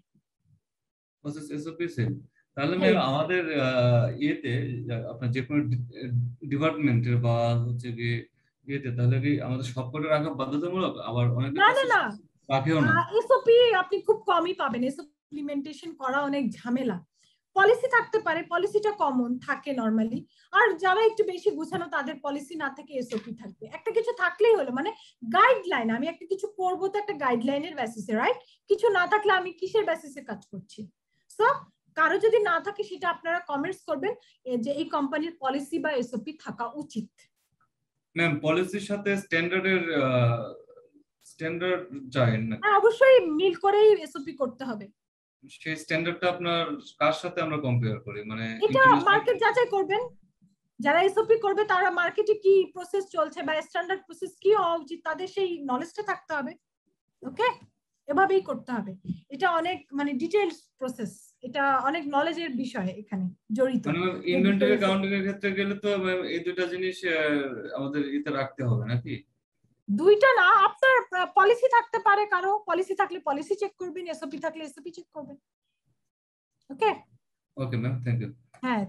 সো কি পড়ছিলাম আমরা তিন নাম্বারটা? তিন নম্বর হচ্ছে confirmations with third parties holding inventory or having inventory stored for them by the company yes ওই যে আমি বলছিলাম যে থার্ড পার্টির কিছু ইনভেন্টরি আপনার এখানে হয়তো গোডাউনে আছে। আপনি বলছেন এটা থার্ড পার্টির সে নিবে। আমি এটার জন্য আমার ইনভেন্টরিতে ঢুকাইনি। সো এটার কনফার্মেশনটা আমরা নিয়ে নিব। ওই কনফার্মেশন ডকুমেন্টসটা নিব যে অ্যাকচুয়ালি এটা যাকে সেল করেছি তার সাথে কমিউনিকেট করে দেখব অ্যাকচুয়ালি এটা তার ইনভেন্টরি কিনা। বাট ডকুমেন্ট ডকুমেন্ট দেখে চেক করব অ্যাকচুয়ালি এটা কোম্পানির না। অন্য কারণ ইয়েস তারপর? Okay ma'am purchase invoices. For inventory so purchase এই যা ইনভেন্টরি আছে এগুলো ডেফিনেটলি পারচেজ ডকুমেন্টস আছে। পারচেজ ডকুমেন্টসগুলো আমরা চেক করব। Then work in progress records for inventory yes so তিনটা জিনিস থাকে ইনভেন্টরিতে কি কি? Raw material work in progress and হচ্ছে ফিনিশ গুডস র ম্যাটেরিয়াল হচ্ছে কাঁচামাল যেগুলো কিনে, সেটা পারচেজ দেখব। তারপর ওইগুলোর সাথে আরও কিছু জিনিস অ্যাড করে আমি ওয়ার্ক ইন প্রোগ্রেস মানে কাজ আগাতে থাকি। আর ফিনিশ প্রোডাক্ট হচ্ছে, মনে করেন একটা টেক্সটাইল কোম্পানি র মেটেরিয়াল কি? সুতা। র মেটেরিয়াল কি? গজ গজ কাপড়। তারপর কালার হতে পারে বাটন হতে পারে এগুলো হচ্ছে র মেটেরিয়াল ওয়ার্ক ইন প্রসেস কি? হয়তো আমি সুতা দিয়ে সেলাই করলাম মানে বাটন টাটন এখনও লাগাই নেই হ্যাঁ? না লাগালে তো এটা শার্ট হবে না বা জামা হবে না। সো এটা ওয়ার্ক ইন প্রোগ্রেস একদম ফিনিশ হয়ে প্যাকিং হয়ে গেলে সেটাকে বলব ফিনিশ প্রোডাক্ট সো কোন স্টেজে আছে, কোন স্টেজে কতগুলো ইনভেন্টরি সেটা রেকর্ডিং কীভাবে করছে ফিনিশ গুডস কে আবার ওয়ার্ক ইন প্রোগ্রেসে রেকর্ড করছে কিনা বা ওয়ার্ক ইন প্রোগ্রেসে যেগুলো আছে, ওইটা আবার ফিনিশ গুডস হিসেবে রেকর্ড করছে কিনা, এগুলোও দেখতে হবে। Then? তারপর হচ্ছে হ্যাঁ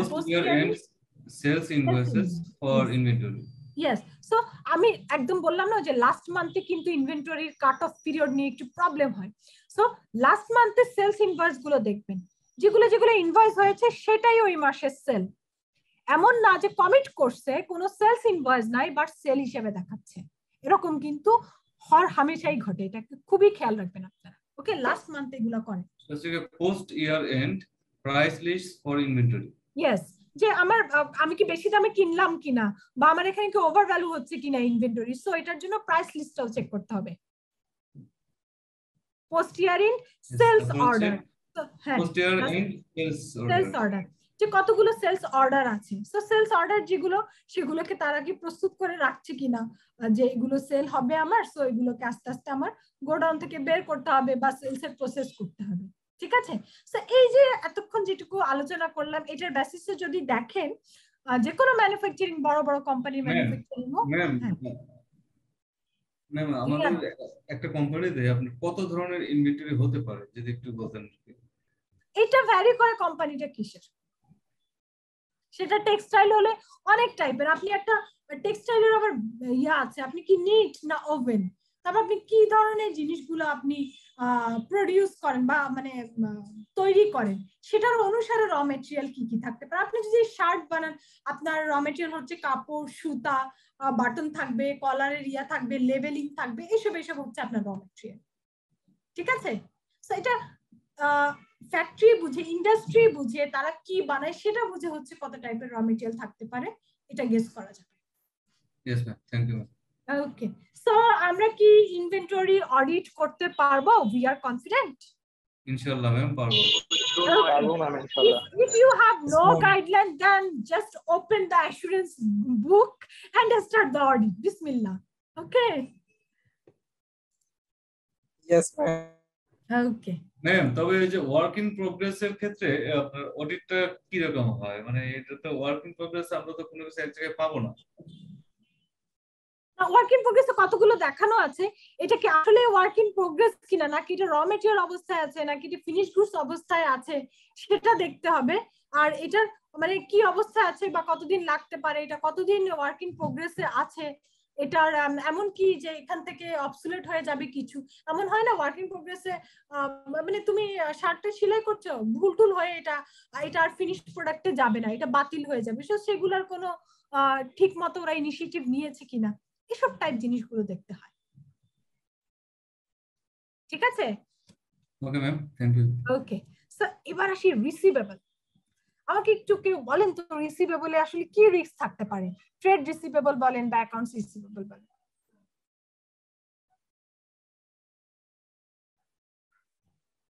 কারও যদি কোনো আইডিয়া থাকে রিসিভেবল নিয়ে।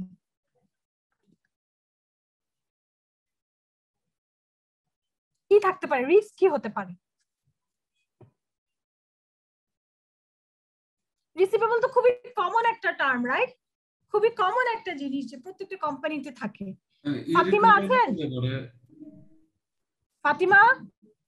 জি মিস আছি। একটু বলেন তো রিসিভেবলে কি রিস্ক থাকতে পারে?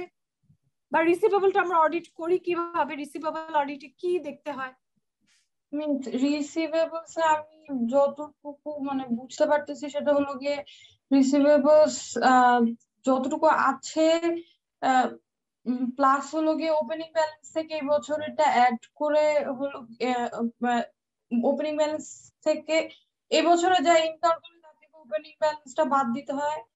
তারপরে ক্লোজিং ব্যালেন্সটা আসে। তো ক্লোজিং ব্যালেন্সটা মানে যেটা আমার ইয়ার এন্ডে যে ব্যালেন্সটা থাকে, সেটার অনেক সময় আমরা আমরা সাবসিকুয়েন্ট পজিশনগুলো চেক করি। যেমন আমাদের যদি থার্টি এইথ জুনে ইয়ার এন্ড হয়, তখন আমার যে রিসিভেবলগুলো ছিল, সেই রিসিভেবলগুলো কি এখন পর্যন্ত কালেক্ট হয়েছে নাকি? বা ব্যাড ডেট এর মধ্যে চলে গিয়েছে নাকি? এই জিনিসগুলো আমরা চেক করতে পারি। তারপরে ওদের যে রিসিভেবলের যে ইয়েটা লেজারটা আমাদের সাথে শেয়ার করে ওখান থেকে আমরা হলো গিয়ে স্যাম্পলিং করতে পারি স্যাম্পলিং করে হলো গিয়ে ওদের সোর্স ডকুমেন্টগুলো চেক করতে পারি। তারপরে যে রিসিভেবলগুলো ওরা বলতেছে স্ট্যাটাস শো করতেছে যে আমাদের পেমেন্ট হয়েছে সেগুলার হলো গিয়ে পেমেন্টের সোর্স ডকুমেন্টগুলো চেক করতে পারি। যেমন ব্যাংক স্টেটমেন্টে আদৌ পেমেন্টটা সরি ম্যাম আমি কিছু শুনতে ম্যাম ম্যাম আপনি মিউট করা। ফাতিমা, আপনি আমাদেরকে লট অফ ইনফরমেশন দিয়েছেন। সো মোটামুটি আমাদের এই জায়গাগুলো কভার হয়ে গিয়েছে। সো ফার্স্ট অফ অল আমি দেখব যে যা রিসিভেবল দেখাচ্ছে, আসলে রিসিভেবল অত কিনা। এটা হচ্ছে প্রথম কথা। কারণ হয় কি, আমি একটু একদম প্র্যাকটিক্যাল এক্সাম্পল দিয়ে বলি। আমরা দেখেছি এরকম। কিছু কিছু ব্যক্তির কাছে রিসিভেবল দেখাচ্ছে বাট কোম্পানির কেউ একজন টাকাটা কালেক্ট করে তার ব্যাংক অ্যাকাউন্টে নিয়ে এসে ইউজ করছে, আবার ঠিক ব্যাড ডেট হওয়ার আগে আগে কোম্পানির অ্যাকাউন্টে দিয়ে দিচ্ছে। সো সে কিন্তু মাঝখানে এই চার পাঁচ মাস কিন্তু টাকাগুলো খাটালো। রিসিভেবল কিন্তু রিসিভেবলের জায়গায় আছে কোম্পানিও একটা টাইমে টাকাটা পাচ্ছে বাট যার কাছে পেতাম সে অনেক আগেই দিয়ে দিয়েছে, সেটা আমি শো না করে আমার একটু মানে অন্য টাইপের ইন্টেনশনের কারণে আমি এটা আমার অ্যাকাউন্টে নিয়ে নিলাম ইউজ করলাম। শেয়ার বাজারে ইউজ একটা কমন জিনিস, এটা আমরা দেখেছি প্র্যাকটিক্যালি এই জন্য বলছি। সো এটা এনশিওর করার জন্য অডিটরে কি করা উচিত জানেন? আপনি রিসিভেবল লিস্ট নিবেন। কার কার কাছে টাকা পায়, কতদিন ধরে পায়। এখান থেকে বেশ বড় বড় ফিগারগুলো তাদের সাথে থার্ড পার্টি কনফার্মেশন পাঠাবেন যে অ্যাকচুয়ালি এদের কাছে এত টাকা পাই কিনা। সো তাদের কাছ থেকে আপনি যদি রিপ্লাই পান তো ওকে এমন মানে এটা সবচেয়ে ইয়ার বিষয় যে অনেক সময় দেখা যায় যে হ্যাঁ ও বলছে আমি তো ভাই টাকা দিয়ে দিয়েছি। তখনই বুঝবেন যে রিসিভেবল যেটা দেখাচ্ছে সেটা ফেক রিসিভেবল ক্লিয়ার এই রিস্কটা সবচেয়ে বেশি। যে কোম্পানির কেউ টাকাটা কালেক্ট করে ইউজ করছে। ওকে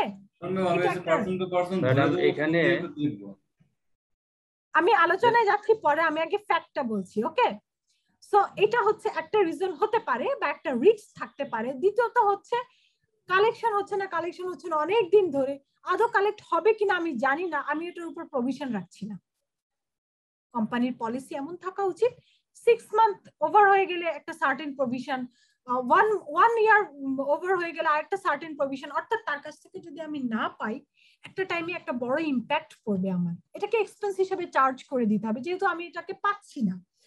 সো ওইটা বড় একটা ইম্প্যাক্ট পড়া চাইতে আমি যদি একটু একটু করে প্রভিশন রাখি, তাহলে আমার ইম্প্যাক্টের পরিমাণটা কমে আসবে।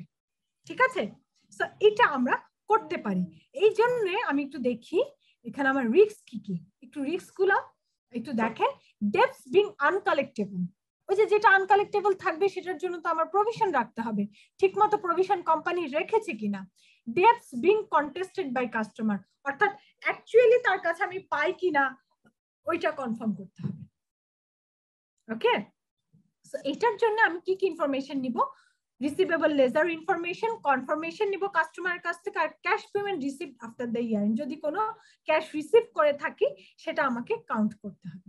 এবার বলেন, একটা দুইটা কোশ্চেন আমি নেই, তারপর আমি আরেকটা স্লাইডে যাব। কি বলতে চাচ্ছিলেন?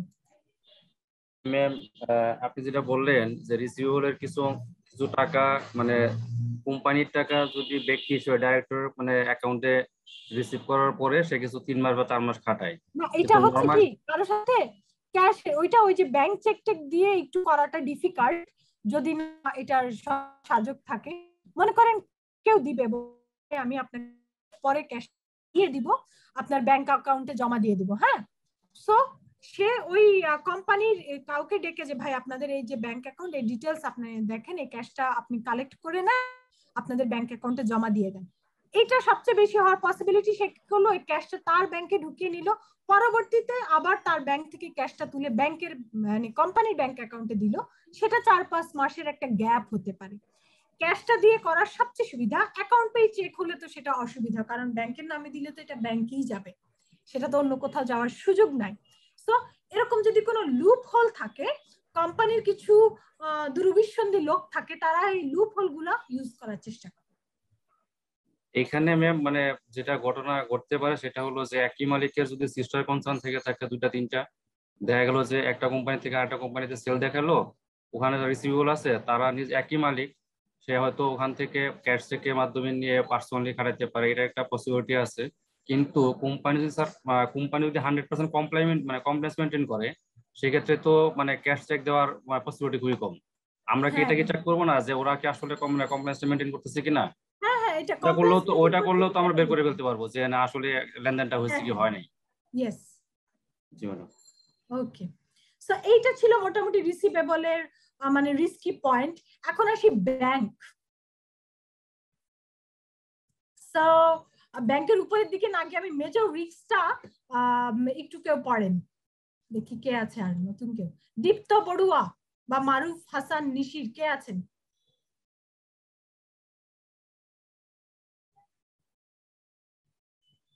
হুম? রবিউল হাসান। কেউ একজন আনমিউট করেন এবং একটু পড়েন। ম্যাম আমি পড়ছি। ওকে বলেন। মেজর রিস্কটা not পড়েন হুম। Not all bank balance owned by the client being disclosed. Yes যে কোম্পানির নামে অনেকগুলো ব্যাংক অ্যাকাউন্ট আছে, সবগুলো ডিসক্লোজ করেনি। এটা আপনি যদি কেউ আপনাকে ইনফরমেশন দেয় বা আপনি যদি কোম্পানিটা সম্পর্কে ভালো মতো জানেন, তাহলে এই ইনফরমেশনটা আপনার কাছে চলে আসবে যে অ্যাকচুয়ালি কোম্পানির ব্যাংক অ্যাকাউন্ট মনে করেন দশ বারোটা সে হয়তো দেখিয়েছে পাঁচটা বা ছয়টা। ঠিক আছে? এটা একটা রিস্ক হতে পারে। Then uh, reconciliation differences between bank balance and cash book balance being misstated. Okay so এটা সবচেয়ে রিস্কি জায়গা যে রিকনসিলিয়েশন ব্যাংক আমরা তো রিকনসিলিয়েশন তো বুঝেন আমরা তো করি। ব্যাংক বুক এবং ব্যাংক ব্যালেন্সের সো এই রিকনসিলিয়েশনের যদি ডিফারেন্স থাকে অনেক সময় হয় কি যে আমার রিকনসিলিয়েশনে দেখাচ্ছে দেখাচ্ছে দেখাচ্ছে অনেক দিন ধরে দেখাচ্ছে। আমি এরকম পেয়েছি আরেকটা ক্লায়েন্ট যে রিকনসিলিয়েশনে অনেকদিন দেখাচ্ছে। পরে দেখা যাচ্ছে যে অ্যাকচুয়ালি এই টাকাটা মানে কোনো একটা ভাবে কেউ একজন নিয়ে নিয়েছে। রিকনসিলিয়েশনের ছয় মাসের পরে নর্মালি চেক যদি দিয়ে থাকে ছয় মাসের পরে কিন্তু এটা ইনভ্যালিড এটা কি আপনারা জানেন কিনা? ছয় মাস পরে এই এই চেকটা আপনি কিন্তু আর শো করতে পারবেন না। ওই কোম্পানি আপনাকে নতুন করে চেক ইস্যু করতে হবে না হলে আপনি টাকা তুলতে পারবেন না। সো রিকনসিলিয়েশনের যে আইটেমগুলো থাকে সেগুলো আমাদেরকে ভালো মতো চেক করতে হবে এটা কেন রিকনসাইল হলো এটা কি ঘটনা এবং অ্যাকচুয়ালি ঘটনাটা সত্য কিনা। কারণ এই রিকনসিলিয়েশনের মাধ্যমে অনেক দুই নাম্বারই হয়ে থাকে ঠিক আছে? সো অ্যাকচুয়ালি রিজনটা বের করার চেষ্টা করবেন অ্যাজ আ অডিটর এবং রিজনটা অ্যাবসুলেট কিনা অ্যাকুরেট কিনা সেটা যাচাই করবেন। Material cash flows Afsur ma'am আমার আমার একটা ক্লায়েন্টে ম্যাম এবার এরকম প্রবলেম হয়েছে এবং কি এটা সলিউশন হয়েছে আমার প্রিন্সিপাল সলিউশন করে দিছে। কি প্রবলেম ছিল আফসুর? ম্যাম ওদের ব্যাংক অ্যাকাউন্টে ম্যাম আছে মাত্র তিরিশ হাজার টাকা ব্যালেন্স বাট ওরা চেক শো করছে সাতাত্তর লাখ পঞ্চাশ হাজার টাকা ব্যাক চেক ইস্যু করছিল।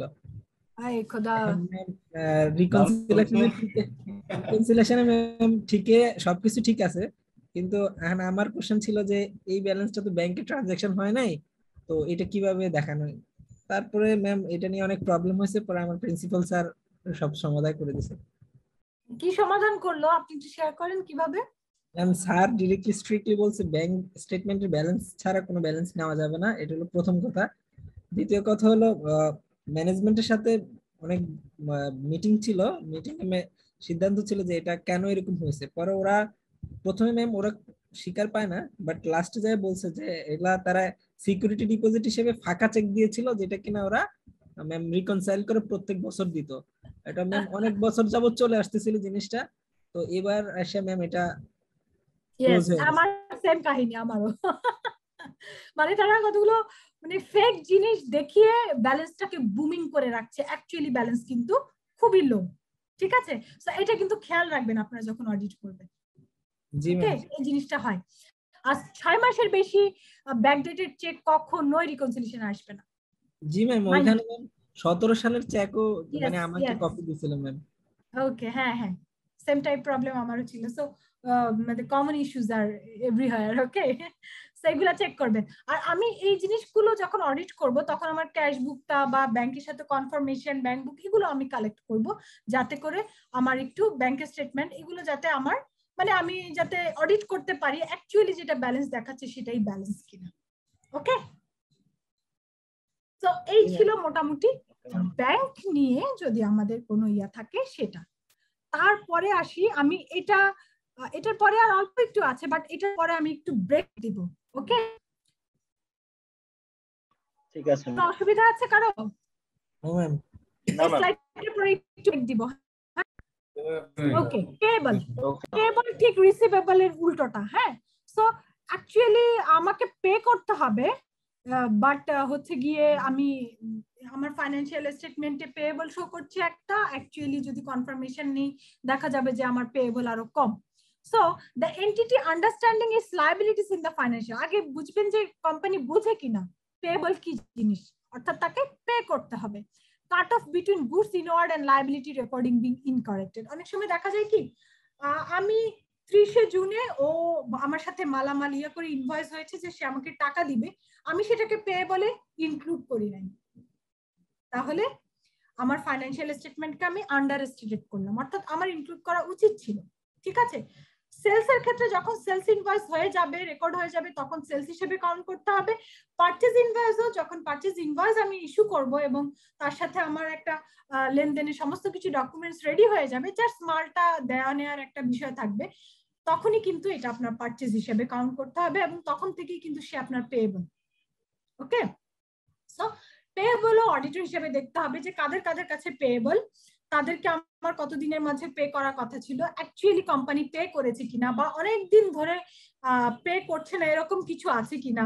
কারণ অনেকদিন ধরে পে না করলে আবার মামলাও করতে পারে, এরকমও ইস্যু আসতে পারে। সো সেগুলো অডিটর হিসেবে আমার তাদেরকে জানানো উচিত।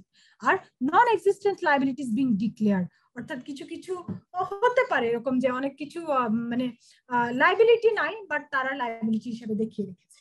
ঠিক আছে? সো এগুলো ডকুমেন্টস দেখলে রেকর্ড দেখলে এগুলো আপনারা ইজিলি খুঁজে পাবেন। এই জিনিসের জন্য আমরা পেয়েবল লেজারটা নিব এবং সাপ্লায়ারকে কনফার্মেশন পাঠালেই বোঝা যাবে অ্যাকচুয়ালি কত টাকা পেয়েবল কাদের কাদের কাছে পেয়েবল ওকে এটার পরে আর কি আছে? আমি একটু দেখি লং টার্ম লাইবিলিটিসটা আছে? হ্যাঁ একটাই আছে। এটা কি শেষ করে দিব কিনা? দেন ম্যাম শেষ করে দেন। এই স্লাইডটা শেষ করে আমরা ব্রেকে যাই। দেন হচ্ছে এমসিকিউ ধরবো right okay so long term মানে কি লোন রাইট আমরা তো লোনটাকেই বুঝি লং টার্ম লায়াবিলিটি যে কোম্পানির লোন আছে ব্যাংক থেকে লোন নিক, পাঁচ বছরের, দশ বছরের, পঁচিশ বছরের, এই লোনটাকে বুঝি। সো লোন যদি দেখতে যান অডিটর হিসেবে মেজর রিস্ক কোথায়? That not all long term liabilities have been disclose অর্থাৎ লোন নিয়েছে অনেক হয়তো বা সে অল্প কিছু শো করছে। এটা হয়তো এই যে ইনসাইডার ইনফরমেশন বা ওদের সাথে কথা বলতে বলতে হয়তো বা প্রকাশ পেয়েও যেতে পারে। তারপরে হচ্ছে interest payable not been calculated correctly অর্থাৎ হয়তো কারও কাছ থেকে কোনো ব্যাংক থেকে লোন নিলেন ইন্টারেস্ট দিতে হবে, এত আপনি ক্যালকুলেশন করে রাখলেন আরও বেশি এবং চার্জও করলেন বেশি। সো অডিটর হিসেবে রিক্যালকুলেট করে দেখতে হবে যে ইন্টারেস্ট পার্সেন্টেজ কত, কবে দিতে হবে ঠিক মতো ক্যালকুলেশন করেছে কিনা company that disclosure is incorrect আপনার ওই যে লং টার্ম লাইবিলিটি লোন নিলে মর্টগেজ রাখতে হয়, কোন সম্পত্তির মর্টগেজ এটা, কত দিনের কি সমস্ত কিছু চেক করতে হবে। অডিটর হিসাবে যে প্রেজেন্টেশন ডিসক্লোজার সবকিছু ডিসক্লোজ করেছে কিনা ফাইন্যান্সিয়াল স্টেটমেন্টে ওকে আর এই লোনের যদি আমি অডিট করি, আমি কি কি নিব? Schedule of loan statutory books such as register of debenture article of association loan এগ্রিমেন্টটা bank letter or direct confirmation cash book board minutes client schedule and calculation accounting policies accounting পলিসিতে কি বলা আছে? ওরা কি করছে? ওকে এই হচ্ছে মোটামুটি লং টার্ম লাইবিলিটির জন্য যদি আমরা দেখে থাকি এই হচ্ছে সেই জিনিসগুলো। এই স্লাইডটা থাকুক আপনারা দেখতে থাকেন। আমি একটু ব্রেক নিয়ে আবার ব্যাক করছি ঠিক আছে? এটা মিনিমাম ফিফটিন মিনিটস হবে। আমি আমার বেবিটাকে একটু টেক কেয়ার করব। ফিফটিন মিনিটস পরে আমি আবার ব্যাক করছি ঠিক আছে? ওকে ওকে এই স্লাইডটা একটু থাকুক দেখেন কোনো কোশ্চেন থাকলে আমাকে জানায় হ্যালো আছেন আপনারা? জি ম্যাম আচ্ছা কি অবস্থা? আর কারও কোনো কোশ্চেন বা কিছু? আমি লাস্টের দিকে তো একটু হারি করলাম। তারপর কিছু কোশ্চেন থাকলে আমরা আগে সেটাই নেই। তারপরে হচ্ছে আমরা আমাদের ফাতিমা যেটা আমাদের সাথে শেয়ার করল বা আইসিবি থেকে শেয়ার করেছে যে এমসিকিউ কোশ্চেন সেটা সলভের দিকে যাব। এই চ্যাপ্টার মোটামুটি এখানেই শেষ। সো বই থাকলে যদি আর একটু দেখেন তো দেখতে পারেন। মোটামুটি চ্যাপ্টারটা বোঝার জন্য অ্যান্সার করার জন্য যে টপিকগুলো দরকার ছিল সেগুলো আমি অলরেডি কভার করে ফেলেছি। তারপর আপনারা একবার পুরোপুরি পড়ে দেখবেন। কিছু নতুন যদি হয় বা কিছু দিয়ে না রেসপন্স করবে ঠিক আছে? ওকে দিদারুল কি খবর? ইয়েস ম্যাম আপনি বাইরে ছিলেন মনে হয় না? ম্যাম নেটওয়ার্কে বুঝি নাই। বললাম বাইরে ছিলেন মনে হয়। মাঝখানে যে আওয়াজ শুনলাম বললেন বাইরে মনে হয়। শুনতে পাচ্ছেন আমাকে?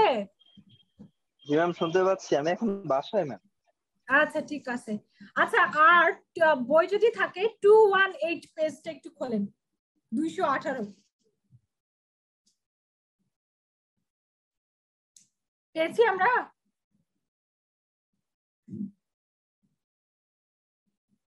একটু অ্যান্সার করি আমরা কি দেখতে পেয়েছি? Two one eight page number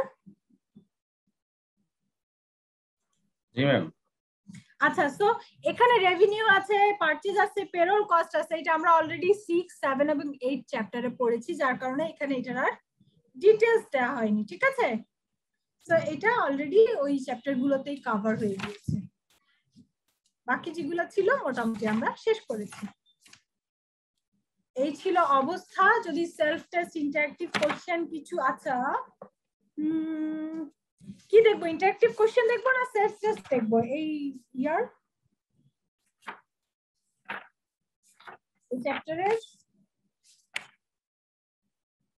আচ্ছা interactive question one two zero ওয়ানে এটা একটু পড়েন তো বা অ্যান্সার করেন তো। টু জিরো ওয়ান দুশো এক নাম্বার পেজে একটা ইন্টারঅ্যাক্টিভ কোশ্চেন আছে। আমরা এটা একটু পড়ে দেখি কি বলেছে? কেউ একজন পড়েন? আনমিউট করে পড়েন। Which three of the following might an auditor vote when testing the rights and obligation of a company in respect of a vehicle? Vehicle হ্যাঁ। সো ভেহিকেলের রাইটস এন্ড অব্লিগেশন দেখার জন্য আমরা কি কি করি? পড়েন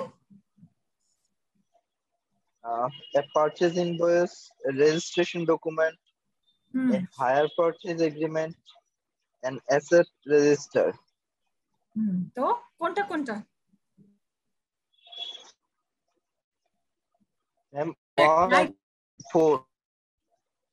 Four হবে তো ম্যাম আমরা কিন্তু ওয়ান তো রাইটস এর জন্য না, কারণ অ্যাসেট রেজিস্টার তো সব অ্যাসেটই থাকে। ওইটা দিয়ে তো আর আপনি রাইটস এন্ড অব্লিগেশন টেস্ট করতে পারবেন না। বাট এখানে কিন্তু স্পষ্ট বলে দেয়া নাই এটা কি হায়ার পারচেজ বা নাকি এটা অন্য কোনো। সো যদি ওরকম হয়ে থাকে তাহলে ওয়ান টু থ্রি হওয়ার কথা। ঠিক আছে? যে এই তিনটা ডকুমেন্টস আমরা মূলত কোনো একটা জিনিসের রাইটস এন্ড. অব্লিগেশন যদি ইয়া করি টেস্ট করি তখন আমরা পারচেজ ইনভয়েসটাও দেখতে হয় যে ওখানে কার নামে আছে রেজিস্ট্রেশনটাও দেখতে হয় ভেহিকেলে যে রেজিস্ট্রেশন কার নামে করা আছে এবং হায়ার পারচেজ মানে হায়ার পারচেজ হয়ে থাকে বা লিজ হয়ে থাকলে ওই ডকুমেন্টসটা দেখতে হয় যে ওইখানে কার কাছ থেকে নেওয়া হয়েছে কীভাবে পেমেন্ট করতে হবে বা কাকে দেয়া হয়েছে এই জিনিসগুলো থাকে ক্লিয়ার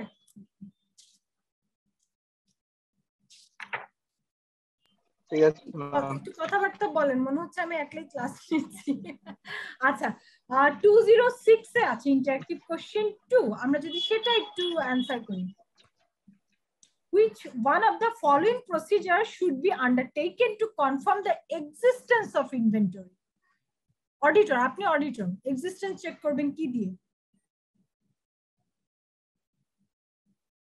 ম্যাম এক নাম্বার ম্যাম অ্যাটেন্ডেন্স না থাকলে ইয়েস হ্যাঁ আমরা ইনভেন্টরি কাউন্টিং এ অ্যাটেন্ড করলেই তো এটার এক্সিস্টেন্সটা আমরা দেখতে পাবো যে অ্যাকচুয়ালি এটা কোম্পানিতে আছে কিনা বা রেজিস্টারে যা আছে সেরকম আছে কিনা ওকে এই তো আপনারা তো পারছেন।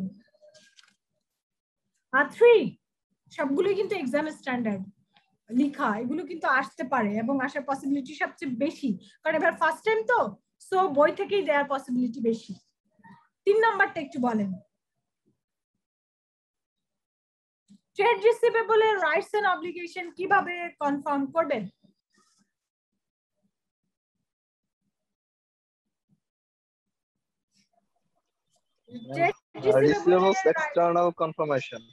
আচ্ছা বাকি তিনটা নয় কেন? Review of cash received after date test of control over ordering recalculation of specific allowance for doubtful debt এগুলো হবে না কারণ এটা আমার নামে কিনা বা আমারই রিসিভেবল কিনা এটা আমি কনফার্মেশনের মাধ্যমে এনশিওর ঠিক ঠিক আছে ওকে দেন গো টু দা ম্যাম তাহলে এখানে আনসার কোনটা হবে ম্যাম তিন নাম্বারটা। এক্সটার্নাল ওই যে রিসিভেবল এক্সটার্নাল কনফার্মেশন ওটার মাধ্যমে কিন্তু আপনি রাইটস এন্ড অব্লিগেশনটা জানতে পারবেন যে রিসিভেবলটা অ্যাকচুয়ালি আপনার নামে কিনা বা এটা থেকে কি অবস্থা বা অ্যাকচুয়ালি রিসিভেবল কিনা। ঠিক আছে? Okay okay then two one four interactive question four কি বলেছে? Which one of the following will be confirmed by obtaining a bank letter from a specific bank? বলেন। Which one of the following will be confirmed by obtaining a bank letter from a specific bank? কে একজন চারটা option পড়েন এবং কি হবে বলেন Ma'am, option গুলো তো হচ্ছে that the bank balance stated on the bank reconciliation is correct. Then Okay. uh, that the unpresented check listed on the bank reconciliation were sent out per year end. Uh, that the company possesses only the bank accounts it declares uh, then also that the cash flows of the company are fairly stated আচ্ছা তাহলে কোনটা যেটার মাধ্যমে confirm by obtaining a bank letter from a specific bank so আমরা যখন third party কনফার্মেশনের জন্য পাঠাই সেটা যখন ব্যাক করে সেটার মাধ্যমে আমরা কোনটা কনফার্ম হতে পারি ম্যাডাম, প্রথমটাই তো মনে হচ্ছে যে আমরা যেটা রিকনসিলিয়েশন থেকে আমরা যেটা ব্যাংক ব্যালেন্স দেখে রিকনসিলিয়েশনের ফিগারটা কনফার্ম করা। ইয়েস যে আমার ওখানে যেটা দেখাচ্ছে যে as per bank book as per bank statement so as per bank statement যেটা দেখাচ্ছে ওইটা অ্যাকচুয়ালি কারেক্ট কিনা। ঠিক আছে? ওটাই আমরা কনফার্ম হই এই থার্ড পার্টি কনফার্মেশনের মাধ্যমে। বাকিগুলা কেন নয়, পিছনে ব্যাখ্যা দেয়া আছে, আমি আর ডিটেলসে গেলাম না। Interactive question five audit of payables একটু বলেন তো ট্রু এখানে কি বলেছে? Indicate whether the following statement true and false true false এর কথা বলেছে। ওয়ান নাম্বারটা একটু পড়েন, এটা কি ট্রু না ফলস আমাকে একটু বলেন।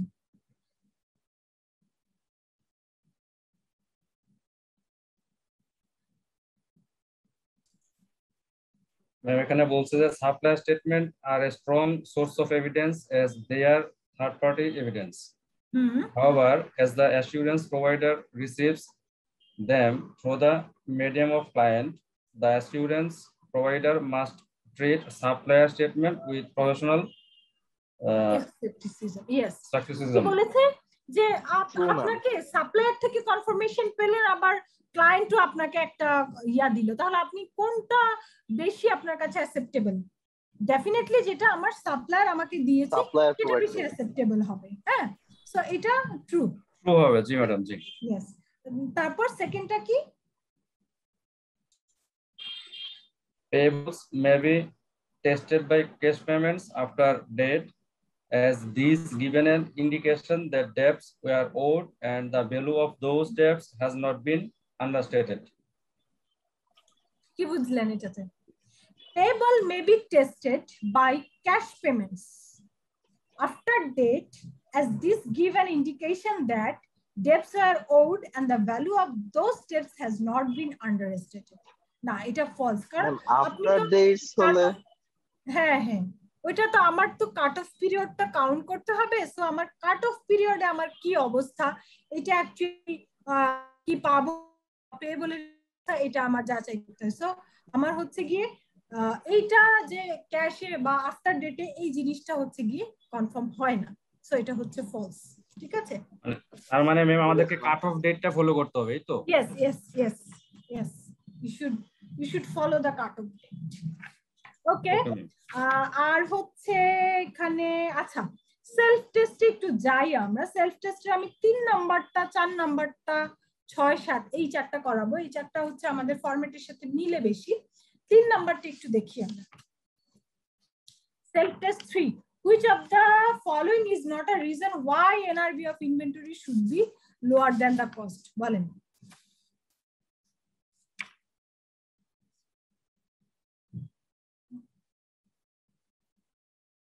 এনআরভি কস্টের চাইতে লো হতে পারে এটার কোনটা রিজন না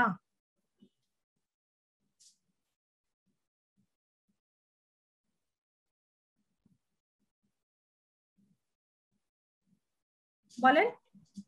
খুবই ইজি যে আমি কোন কোন ইন্ডিকেশনে বুঝব যে এনআরভি মানে কখন কখন এনআরভি হচ্ছে গিয়ে কস্টের চাইতে লোয়ার হয়।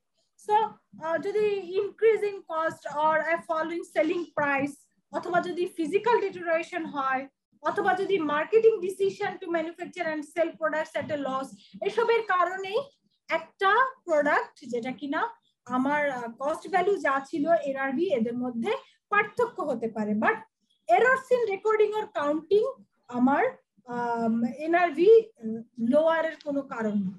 এটাতে এনআরভি লোয়ার হয় না এটাতে হয় এরর বা কিছু ঠিক আছে? এবং এটা ডিটেক্টও করতে পারা যাওয়ার কথা। কোশ্চেনটা কি ধরতে পেরেছেন কিনা আপনারা? জি ম্যাম এখানে তো এররসটা বলাই আছে যে আমি কাউন্টিং এররস করছি। তো আমি কাউন্টিং হ্যাঁ। এররস তো মানে তো আমার এখানে তো আমার একটা ভুল. এবার এটা তো আমার কোনো মানে কাউন্টের মধ্যেই আসবে না। ইয়েস ইয়েস সো আর তার নাম্বারটা একটু দেখি স্টেটমেন্ট কেউ একজন ট্রু না ফলস আমরা একটু দেখি The negative method of receivables external confirmation should only be used if the client has a good internal control and a small number of large receivables accounts. আচ্ছা এটার আগে আমি বইটি একটু আমরা আপনাদেরকে দেখাই তাহলে এটা আপনাদের অ্যান্সার করতে একটু সুবিধা হবে এই জায়গাটা আমি ডিটেলসে ইয়ে করি না আপনারা যখন একটু ডিটেলসে পড়বেন তখন হচ্ছে গিয়ে এটা একটু দেখবেন আমি আপনাদেরকে মার্ক করি। Okay two zero seven number পেজে থ্রি পয়েন্ট ওয়ানের মাঝামাঝি টু জিরো সেভেন দুশো সাত নাম্বার পেজের থ্রি পয়েন্ট ওয়ানের মাঝামাঝি দেখেন under the positive method under the negative method দুটা জিনিস বলা আছে দেখেছেন কি? সো ক্লায়েন্টকে কনফার্মেশন পাঠালাম পজিটিভ মেথডে কি হতে পারে নেগেটিভ মেথডে কি হতে পারে একটু পড়েন তাহলেই দেখবেন এটার সাথে চার নাম্বারটা একদম হুবহু মিল আছে positive method the customer is requested to give the balance or to confirm the accuracy of the balance shown or state in what respect he is in disagreement ঠিক আছে so আর নেগেটিভ মেথডে কি বলেছে? The negative method, the customer is required to reply only if the amount stated is dispute. অর্থাৎ positively হলে আপনাকে কিন্তু সে confirm করবে যে হ্যাঁ ব্যালেন্স এটা বা ডিসঅ্যাগ্রি হচ্ছে বা কেন হচ্ছে মানে সে পজিটিভলি আপনাকে রেসপন্স করবে। আর যদি নেগেটিভ হয়, তাহলে সে কি করবে? শুধুমাত্র যদি ডিসপিউট থাকে, তাহলে সে তার সুবিধা মতো আপনাকে রেসপন্স করবে। আপনাকে সবসময় রেসপন্স নাও করতে পারে। ঠিক আছে? সো দা কি বলেছে? আবার আমরা চার নম্বর কোশ্চেনে যাই। The negative method of receivable external confirmation should only be used if the client has a good internal control or a small number of large receivable account. এটা false. ঠিক আছে? আমরা একটু আগে দেখলাম যে নেগেটিভ হলে কি কথাবার্তা বা কি টার্মগুলা ইউজ হয়। আপনার কি বুঝতে পারছেন? হ্যাঁ না না বললে আমার মনে হয় যেন যে মাথার উপর দিয়ে যাচ্ছে নাকি কথাবার্তা। এটা একটু আরেকটু বাসায় পড়ার আমি অনুরোধ করব। এই রিসিভেবল এর যে কনফার্মেশন ফ্রম কাস্টমার যে জায়গাটা আছে এটা একটু বাসায় পড়বেন ঠিক আছে? বাসায় পড়ে আপনাদের যদি কোনো কোশ্চেন থাকে বা যদি কোনো কিছু জানার থাকে আপনারা আমাকে নক দিন ঠিক আছে? বুঝতে পেরেছেন? রিয়াদ ইব্রাহিম আফসুর দিদার জি ম্যাম জি ম্যাম ওকে জি ম্যাম বুঝতে পারছি। ওকে জি ম্যাম আচ্ছা থাক এখানে এখানে চ্যাপ্টারটা আরেকটু ভালো করে পড়ে দেন আপনার কোশ্চেন ইয়া করে আশা করি পারবেন আপনারা। আমি এখন ওই যে এমসিকিউটা যেটা আছে ওইটাতে বরং জি ma'am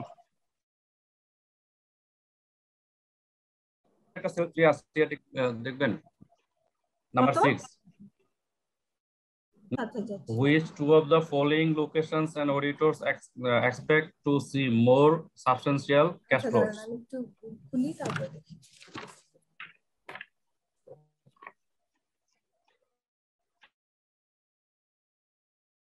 Number number number? Two two. Which location would auditor expect to see more substantial cash flows. কোথায় কোথায় বেশি মাত্রায় following location would auditor expect to see more substantial cash flows মানে ক্যাশের আপনার হচ্ছে গিয়ে মানে আসতেছে, যাচ্ছে আসতেছে, যাচ্ছে ওয়ার্কিং ক্যাপিটালে থাকছে, এটাকে আবার ইউজ হচ্ছে, আবার পারচেস করছে, আবার ইনভেস্ট হচ্ছে। এই জায়গাগুলো কোথায় সবচেয়ে বেশি দেখা যায়? এখানে ম্যাম যেটা মানে রিটেল আউটলেটে যেটা আমাদের হয় ধরেন স্বপ্ন বা আগোরা বা সবসময় ক্যাশ ট্রানজাকশন হচ্ছে এখানে ক্যাশ ফ্লোটা বেশি হবে। হ্যাঁ আর হোটেলে তো নরমালি হ্যাঁ চেক ইন চেক আউট প্রথম দুইটাও। প্রথম দুইটাই হবে ma'am hotels and retail outlet so মানে একেবারে খুব ফ্রিকোয়েন্ট যদি ক্যাশ ফ্লো দেখা হয় সেটা হোটেল এবং রিটেল আউটলেটে ম্যানুফ্যাকচারিং কোম্পানিতে তো আপনার একটা নির্দিষ্ট টাইমে পারচেজ একটা নির্দিষ্ট টাইমে মানে বাল্ক লটে পারচেজ হয় তো এটা ডিসিশন মেকিং লেগে যায় ডে বাই ডে প্রতি মুহূর্তেই হচ্ছে ওইরকম না কিন্তু আর সলিসিটর প্র্যাকটিসও সেরকম ঠিক আছে সো হোটেল এবং রিটেল আউটলেটে ক্লিয়ার ওকে এখন আমি যেটা শেয়ার করছি সেটা কি দেখা যাচ্ছে কিনা জি ম্যাম দেখা যাচ্ছে। ওকে সো এইটাতে আমরা একটা একটা করে আগাই। আমি এইটা আজকে আলোচনা করার কতটুকু যেতে পারব আই ডোন্ট নো দশটার মধ্যে। কতটুকু যাওয়া যায় দেখি। বাট এটা আলোচনা করার উদ্দেশ্য হচ্ছে এই যে এতগুলো চ্যাপ্টার আমরা পড়ালাম, দাদা পড়ালো। সো আমরা আসলে কোন জায়গায় আছি? আমরা আসলে অ্যান্সার করতে পারছি কিনা? আমাদের আসলে যা পড়িয়েছি সেটা মাথায় কিছুটা হলেও ঢুকেছে কিনা? সো ফার্স্ট একটা দিয়ে শুরু করি। Which of following best describe the concept of assurance? Assurance concept কোনটার মাধ্যমে সবচেয়ে ভালো ডেসক্রাইব হয়? একটু পড়েন। আমাকে একটু বলেন অ্যান্সারটা কি হওয়া উচিত?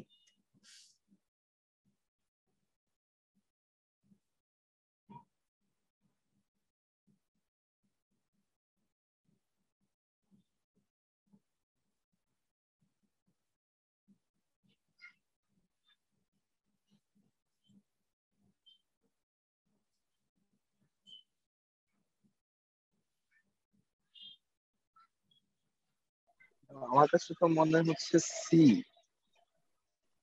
Didar yes you are right C হবে এটার অ্যান্সারটা কারণ আমরা অডিটটা করছি অ্যাসুরেন্সটা দিচ্ছি কাকে? User satisfaction to the reality of net banking মানে আমাদেরকে বোঝাচ্ছে। Okay okay then two number number two এটা খুবই easy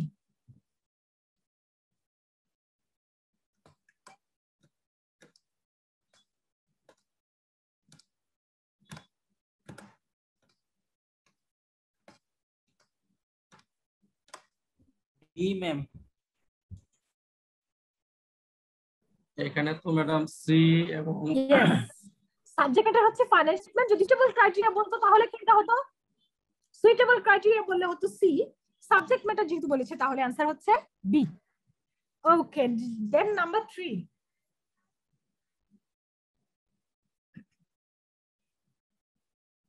B plus C ma'am yes একটু আগে যেটা বলছিলাম। যখন ক্রাইটেরিয়ার কথা আসবে, তখন আইএসএফআরএস আসবে। ওকে ফোর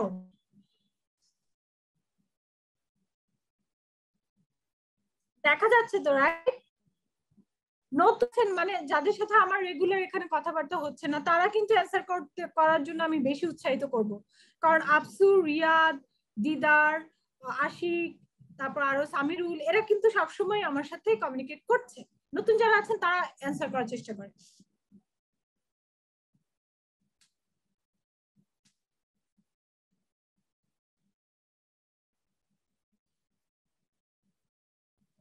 প্রফেশনাল স্কেপটিসিজম মানে কি ম্যাম কোশ্চেনারি না দুই নাম্বারটা হবে সি হবে ম্যাম স্যার বি হবে ম্যাম আবার বুঝি না আর আবার বলেন বি ম্যাম সি বি আর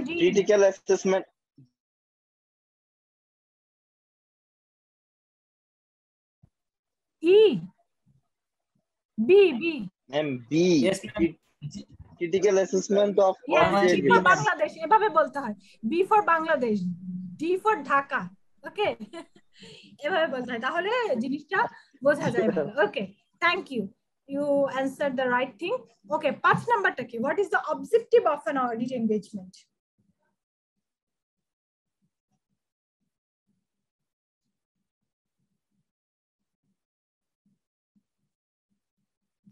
C ma'am capital D হওয়ার কথা? অল অফ দ্য অ্যাবভ আর কারও কোনো opinion Ma'am, this should be C. C হবে। ডি কেন হবে? ডি ফর ঢাকা তো হওয়ার কোনো কারণ টু চেক অল ট্রানজাকশন আমি তো সব ট্রানজাকশন দেখব না সেটা আমার অবজেক্টিভ হ্যাঁ এটা হ্যাঁ, জি ম্যাম বুঝতে পারছি। আমরা তো র্যান্ডমলি দেখি। yes that should be the provide an audit opinion on financial স্পষ্ট ভাবে আমরা বারবার পড়েছি অবজেক্টিভ হচ্ছে অডিট ওপিনিয়ন দেয়া right okay so the six number who needs to close the expectation gap ma'am auditor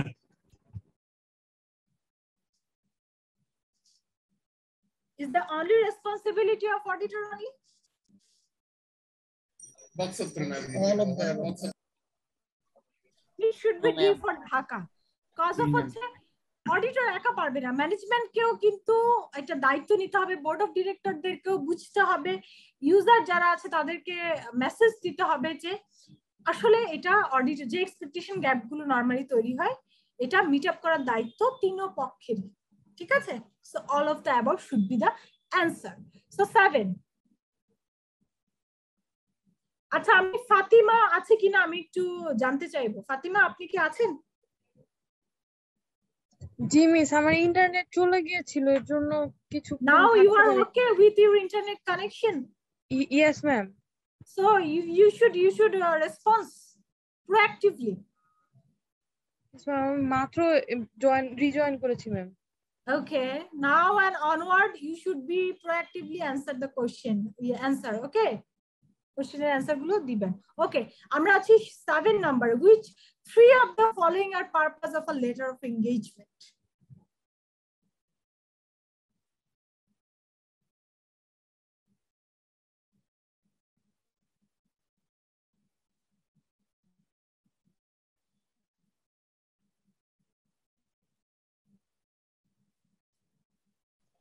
Ma'am, C, C, documenting and compromising the effort. Three বলেছে তাহলে তিনটা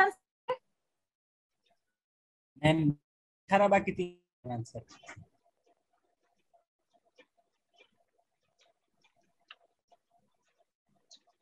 ম্যাম সি আর ডি হবে। আর তিনটা বলেছে ফাতিমা। হ্যাঁ আরেকটা কোনটা? A miss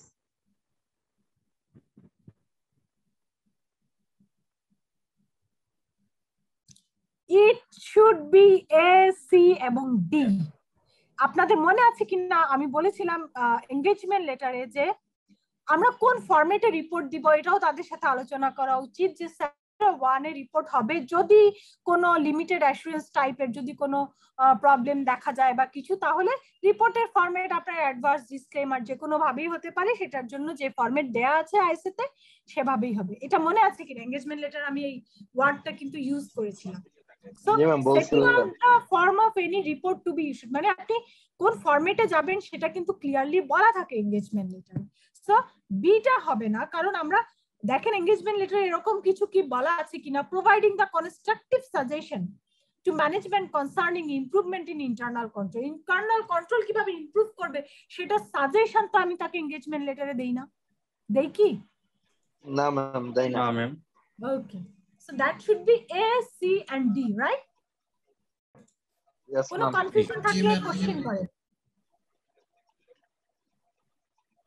আপনি যদি বলেন narrowing the expectation gap yes there is specifically mentioned what is the responsibility of the auditor what is the responsibility of the management so where all of the body's responsibility is clearly identified and declared then there is no expectation gap arise isn't it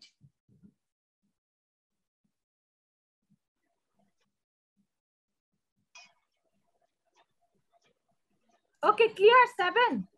Yes, ma'am. Okay, Yes, ma'am. now go for eight. Which of the following normally be contained with the uh, late engagement?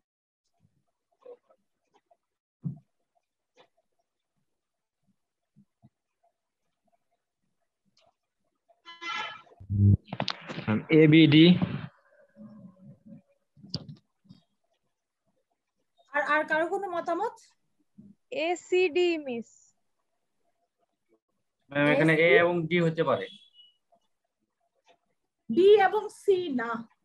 এ এবং D answer responsibilities of the management not director okay R the staff assign যেটা ওইটা আমরা এখানে discuss করি না। আমরা scope of the audit এবং auditor রেসপন্সিবিলিটিটা এখানে ডিসকাস করি তো It answer is A and D. Yeah, okay. D, G, G. Okay, nine.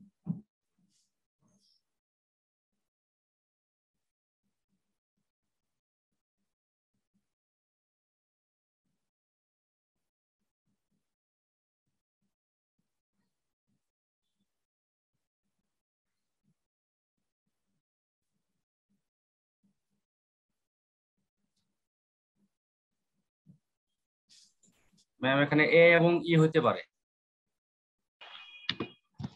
শুধু এ হইতে পারে ম্যাম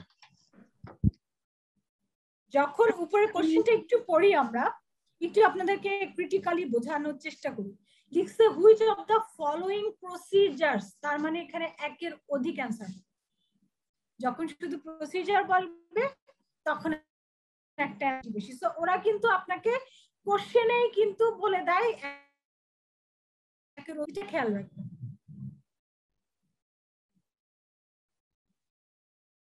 আমি আরও একটু এখনও আসে নাই আমি আর অ্যাসেস করার সুযোগ দিচ্ছি। এস সি ই বুঝি নাই? ম্যাম আমার কাছে মনে হচ্ছে এ এবং ই এ এবং ই দুইটা। আচ্ছা। না এখনও অ্যান্সার আসে আমার কাছে ম্যাম তিনটে মনে হচ্ছে এস সি ই রবিউল কি বলেছেন?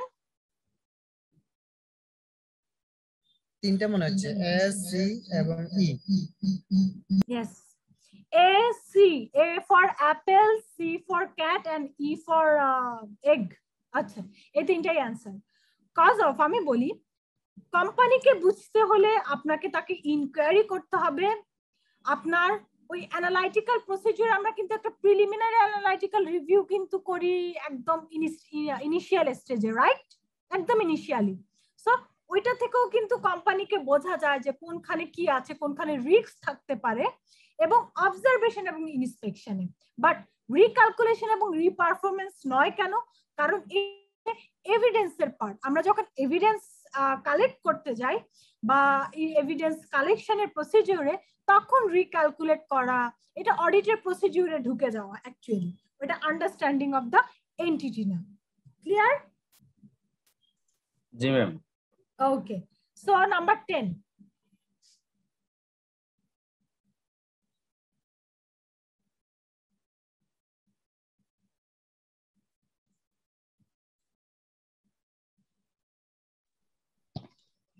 B হতে পারে। ওভাবে বলতে হবে। ডি ফর ঢাকা না বি ফর বাংলাদেশ? কি বললেন বুঝলাম না তো। B for Bangladesh. Ma'am D for Dhaka. A হবে ma'am ma'am D for Dhaka. বইতে। ক্লিয়ারলি বলা আছে লিমিটেশন অফ ইন্টারনাল কথা একদম ক্লিয়ারলি লেখা আছে। এবং দাদাও আই হোপফুলি কভার করেছে। So this answer is D for Dhaka. Okay if you have any confusion then বইয়ের পেজ নাম্বারও আমি বলে দিই আপনাদের page number eighty two okay so you can uh, ca- recheck then okay now 11 কি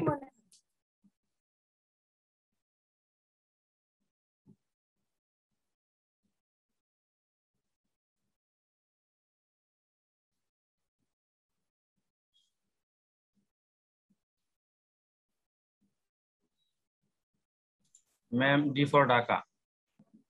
yes. Minimizing audit risk.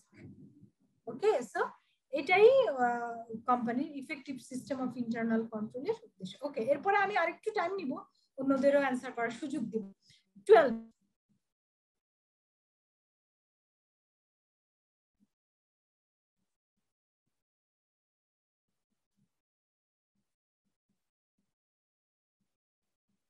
B for Bangladesh.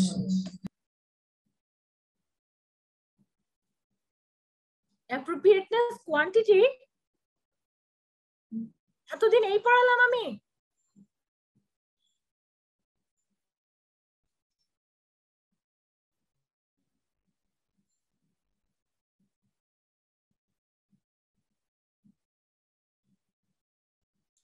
Madam A for apple ma'am sufficiency মানে quality ma'am D হবে Ibrahim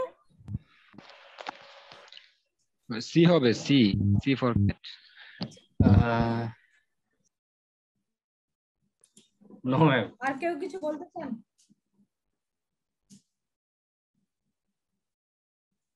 ma'am D হবে madam এখানে তো D মনে হচ্ছে কাট অফটাই মনে হচ্ছে যে assertion of the account balance যদি আমরা ডেটটাকে মেনশন করি আর কি।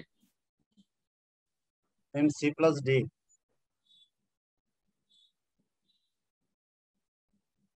শেষ অ্যান্সার করা।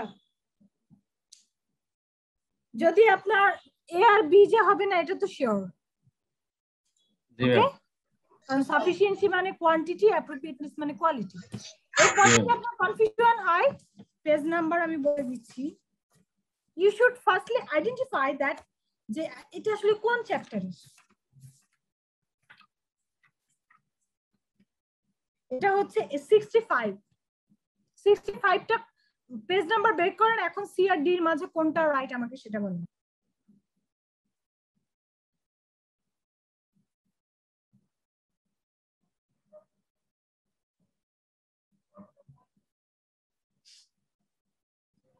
Ma'am, C.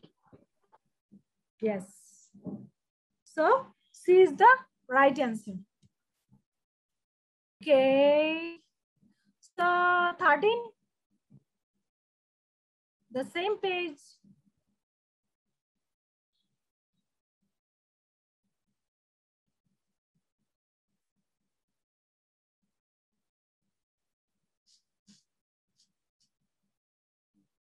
And D, D for Dhaka. And D for Dhaka.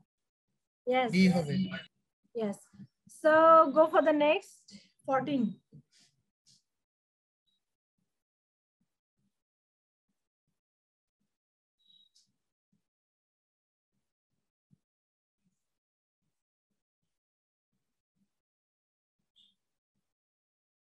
Ma'am, C. B কি বলেছেন বি না D Ma'am, C. Cat, cat.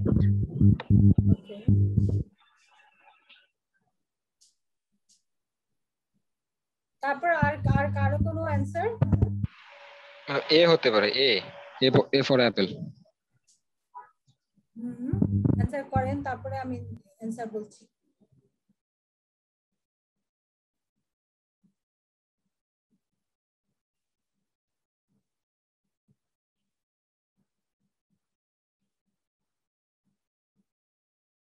Ma'am,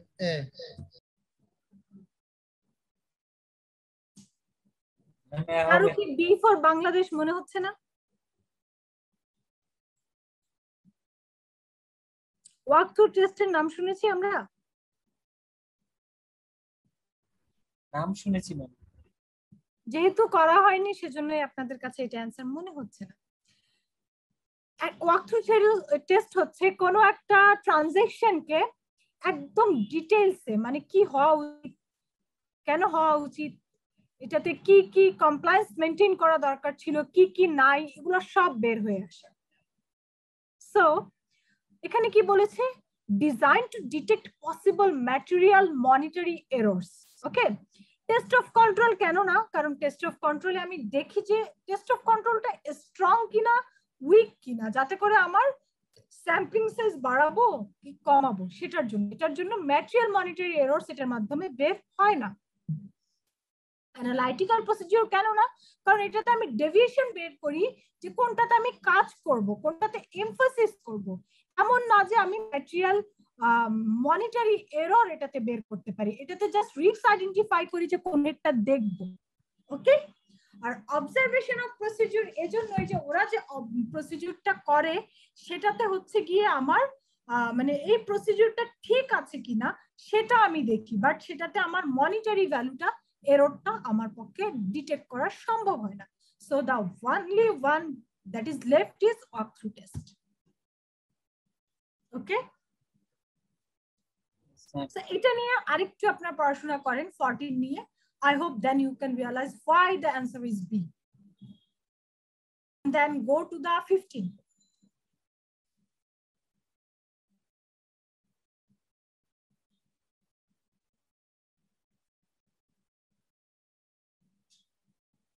Ma'am, inspection. Yes, এটা তো খুবই ইজি ছিল B for Bangladesh, right? G ma'am Okay, now ma'am. 16.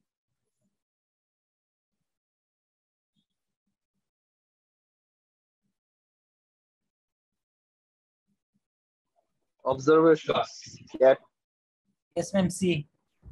Yes. Now 17.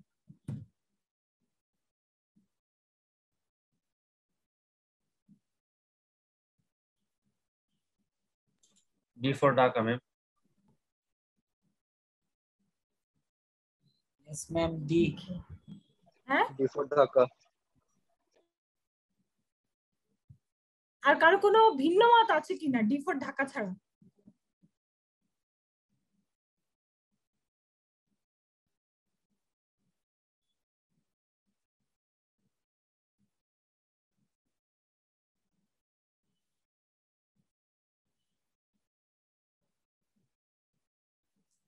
আর- আর কারও কোনো ভিন্ন মত আছে? ডি না হলে ম্যাম তাহলে হবে এ সি ডি এ এবং সি A. ম্যাম একবার মনে হচ্ছে শুধু এ আরেকবার মনে হচ্ছে যে ডি আমার সিনপসিস পড়লে তো এই কথা মনে হওয়ার কথা না। ম্যাম এটা এ এবং সি হবে। সি হতে হ্যাঁ, পারে ম্যাম। A C হতে পারে। সি কেন বি কেন না? কারণ বি ম্যাম কারণ আমরা তো বাজেট এবং অ্যাকচুয়াল সাথে কম্পারিজন তো এটা আমাদের অডিটেড পার্ট না। এটা তো কোম্পানি ইন্টারনাল কন্ট্রোলের পার্ট অ্যানালাইটিক্যাল প্রসিডিউরে কি এটা পড়ায়নি যে অ্যানালাইটিক্যাল প্রসিডিউরের একটা মেথড হতে পারে যে বাজেটের সাথে অ্যাকচুয়ালের একটা কম্পারিজন আমি কি এটা পড়াইনি? আপনারা কি একটু সিনপসিসে যাবেন কারও কাছে সামনে থাকে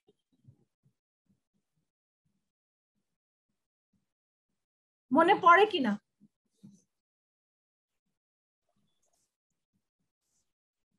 হুম?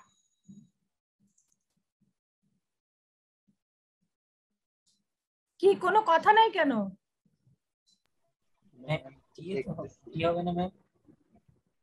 আমি একটু নিউ শেয়ার দিচ্ছি। Just recall yourself what should have stated in here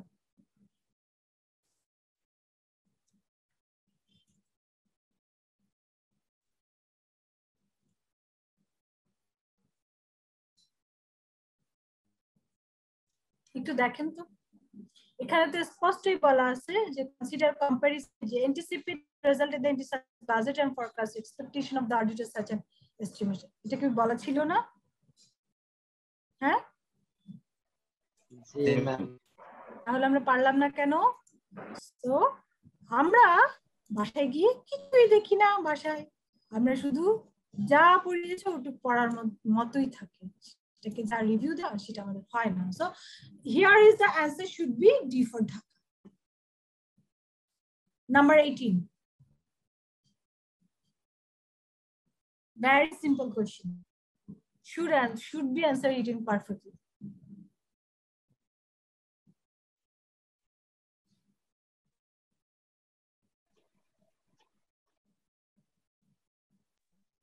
sampling units madam A for apple sample Okay, yes. Yes, I eh, have. Okay, then 19.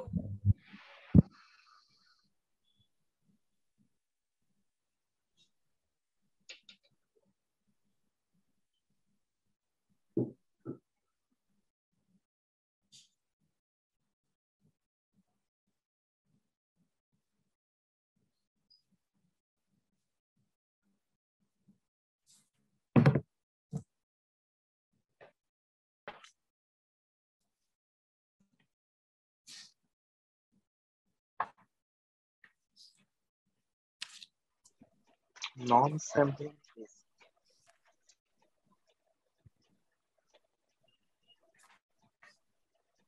ma'am D D for Bangladesh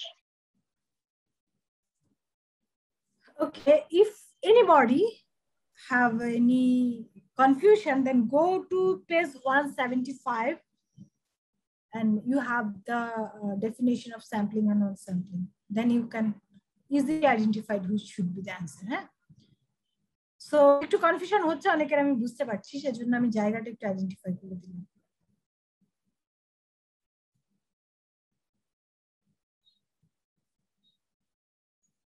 So that should be B for Bangladesh okay কারও কোনো confusion থাকলে 175 একটু যাবে ওকে now number 20.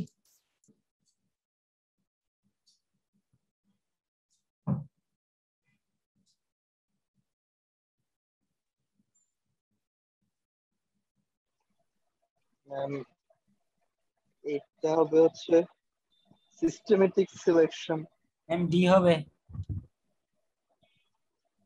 র্যান্ডমে কি কোনো interval থাকে? Ma'am এটা ব্যাপার সিস্টেমেটিক হবে না সি হবে ma'am This C for. Systematic selection. Constant interval দিয়ে যেটা সেটা সিস্টেমেটিক ব্লকে হচ্ছে আমরা একটা নির্দিষ্ট মানে মানে ওই যে আপনি যেভাবে বুঝালাম একশো থেকে এক থেকে একশো ধরলাম আবার একশো এক থেকে দুশো মানে একটা ব্লক ব্লক করলাম যে এত এইগুলা দেখব এইগুলা আবার দেখব না আবার এই এই সার্কেলটা আবার এই কয়টা ট্রানজেকশন আমরা দেখব। একটু মানে লিখার একটু উনিশ বিশ আছে। আপনারা বইতে এটার আরেকটু ডেফিনেশনগুলো আরেকটু ভালো করে পড়ে নিন। ঠিক আছে? তাহলে আমার মনে হয় ক্লিয়ার হবে। এটা হচ্ছে সিস্টেমেটিক সিলেকশনের সাথে রিলেটেড আচ্ছা টোয়েন্টি ওয়ান কি?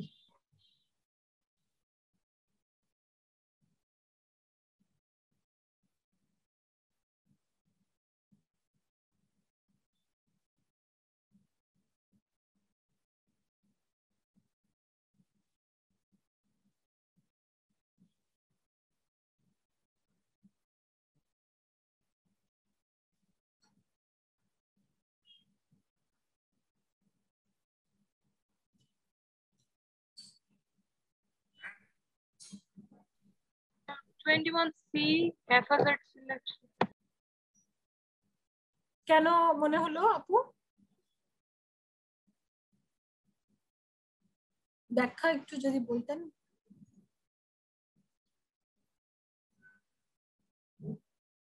Haphazard টা তো হ্যাপাজার্ডলি সিলেক্ট করা হয় রাইট না haphazard most probably হবে না। না আপনার অ্যানসার ঠিক আছে আমি যুক্তি শুনতে চাচ্ছি। haphazard টা তো এটা কোনো তো- সিস্টেমের মধ্যে পড়ে না এটা তো হলো গিয়ে মানে ইচ্ছা মতন নেওয়া হয়। এখানে বায়াসনেসটা আসতে পারে। Yes yes Your answer is right okay now 22.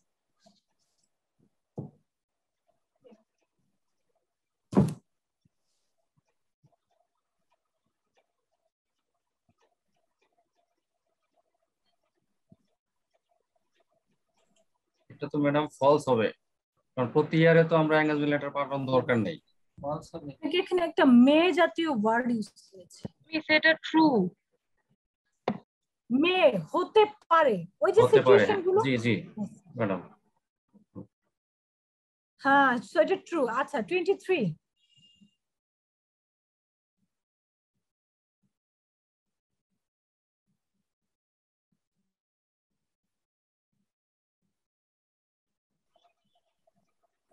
Miss এটা ট্রু হবে। জি ম্যাম এটা ট্রু হবে। Okay. Now 24.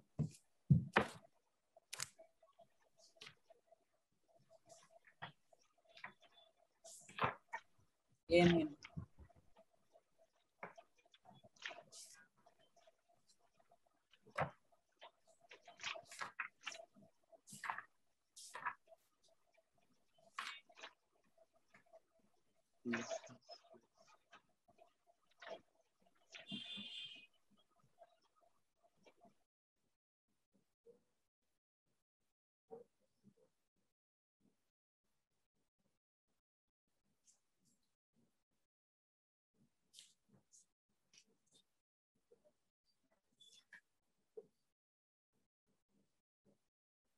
কি কোনো অ্যান্সার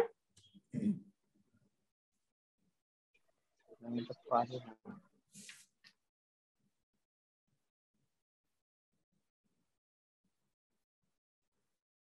হুম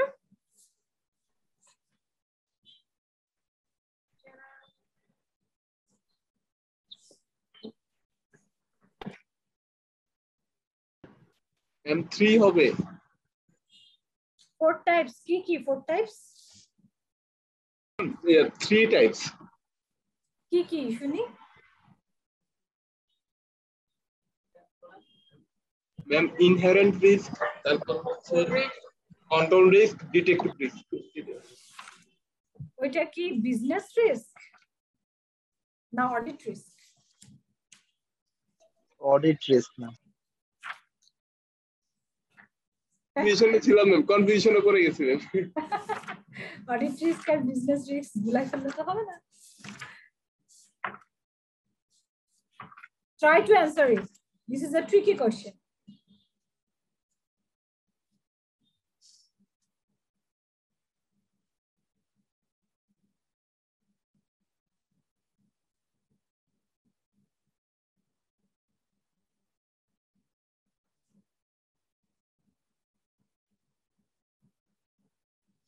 Anybody?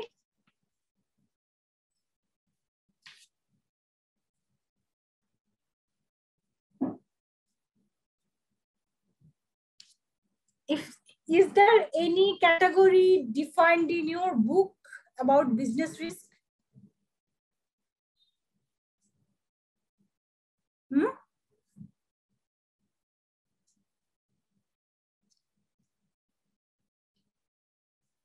কিছু বলা আছে বিজনেস রিস্ক নিয়ে আপনাদের বইতে কোনো ক্যাটাগরি বা কিছু?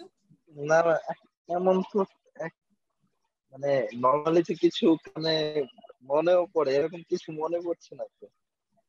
So D for Dhaka. কারণ এটার কোনো জেনারেল ক্যাটাগরি করে দেয় ওকে থ্রেট পড়ছিলাম বাট রিস্ক তো পড়িনি। Okay. Now go to the 25. You should you should answer it. Ma'am এটা C detection risk Yes, Fatima. You are correct. আচ্ছা যারা পড়তে পারেনি তাদের জন্য আবার একটু দিয়ে রাখলাম And now 26. ম্যাম আমি মিস করেছি 24 কি হবে ম্যাম 24 হচ্ছে ঢাকা আমাদের এরকম ক্যাটাগরি বিজনেস এর কোথাও বলা নাই বিজনেস রিস্ক বিজনেস রিস্কের ডেফিনেশন দেয়া আছে বাট ক্যাটাগরি নিয়ে কোনো কিছু বলা নাই ঠিক আছে? জি ম্যাম বা কোনো টাইপ নাই। ওকে নাও 25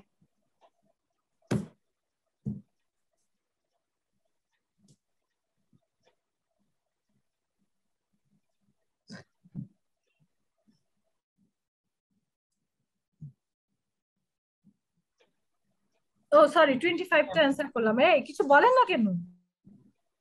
26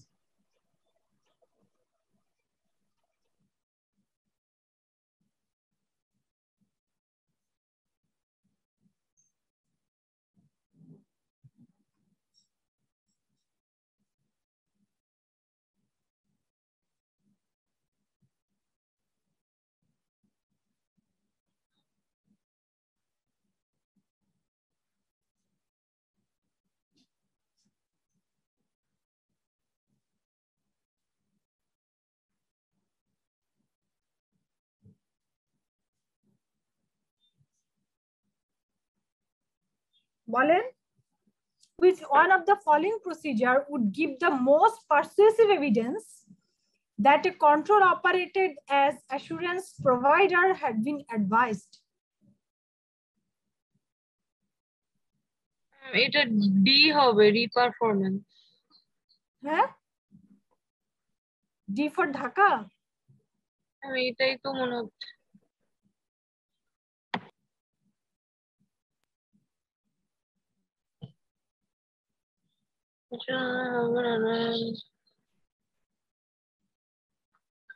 আর কার কোনো মতামত? ম্যাম আমার মনে হচ্ছে সি হবে ম্যাম। হ্যাঁ? অবজারভেশন করে কেমনে এভিডেন্স কালেক্ট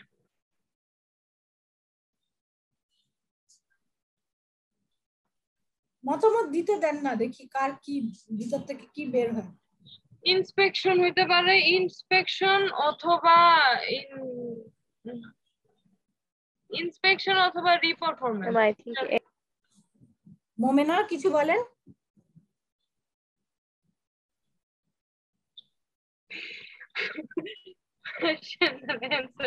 ম্যাম আমি বলছি এ হতে পারে। এই হবে Momena you are right procedure একের অধিক না ওয়ান যেহেতু বলে দিয়েছে তখন আর প্রসিডিউরের দিকে তাকাবেন না।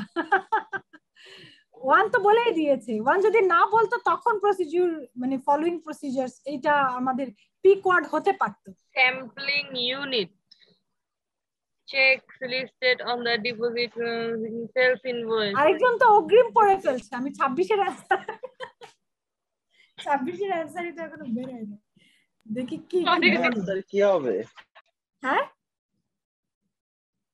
অ্যানসার কি হবে ম্যাম এখানে এ বি সি হতে পারে আরেকজন তো তিনটাই বলে দিল ও সরি ও একটা তো sorry okay which of one of the following procedure কোন প্রসিডিউরটা would give the most persuasive evidence that a control operated as assurance providers has been advised অর্থাৎ assurance provider অ্যাডভাইস করতে পারে যে কন্ট্রোলটা কীভাবে অপারেট করা যেতে পারে এবং সেখান থেকে এভিডেন্স নিতে পারে এটা কোন প্রসিডিউরে সম্ভব বা কোন প্রসিডিউরের মাধ্যমে এই এভিডেন্সটা নেওয়া সম্ভব? আপনারা কি বলেছেন ফার্স্টে ম্যাডাম এটা সি কি হতে পারে? Observation of the staff operating the control yes আমি বলি কেন না অন্যগুলো inspection of the control handbook আমি ইনস্পেক্ট করলাম আমি ওইখান থেকে এভিডেন্স নিলাম। এখানে তো অ্যাডভাইস করতে পারলাম না। Inquiry of the staff operating the control আমি ইনকোয়ারি করে কিছু যদি পেয়ে থাকে, আমি সেগুলো আমার অবজারভেশনে রাখলাম। বাট অন্য কেউ যদি অপারেট করে, আমি যদি সেটা অবজার্ভ করি, সেখানে আমার ইনপুট দেওয়ার সুযোগ আছে অ্যাডভাইস করার সুযোগ আছে, এবং যদি তারা ওই অ্যাডভাইস মোতাবেক কাজ না করে, কিংবা ওইটা না ইয়া করে, তখন সেটা আমি আমার এভিডেন্স হিসেবে কালেক্ট করে সেটাকে ফার্দার প্রসিডিউরে নিতে পারি। এটা ফাইন্ডিংস হতে পারে আবার whatever the okay advice কথাটাকে আপনারা একটু করবেন। আর রিপারফর্ম তো আমি নিজেই পারফর্ম করলাম যে প্রসিডিউরটা স্ট্রং নাকি উইক সেটা দেখার জন্য। ঠিক আছে? সো এই যে control operated as assurance providers had been advise so control operated এবং অ্যাডভাইস এই দুইটা জিনিস মাথায় রাখলেই আপনার তখন ক্লিয়ার হবে যে অ্যাকচুয়ালি এখান থেকে অ্যান্সারটা কি জানতে চাচ্ছে। ওকে এটা না বুঝলে আপনারা আরও রিথিং করেন আমি পরে আবার এটাতে আসব। 7 27 which of the following is an example of sampling unit? Madam D for Dhaka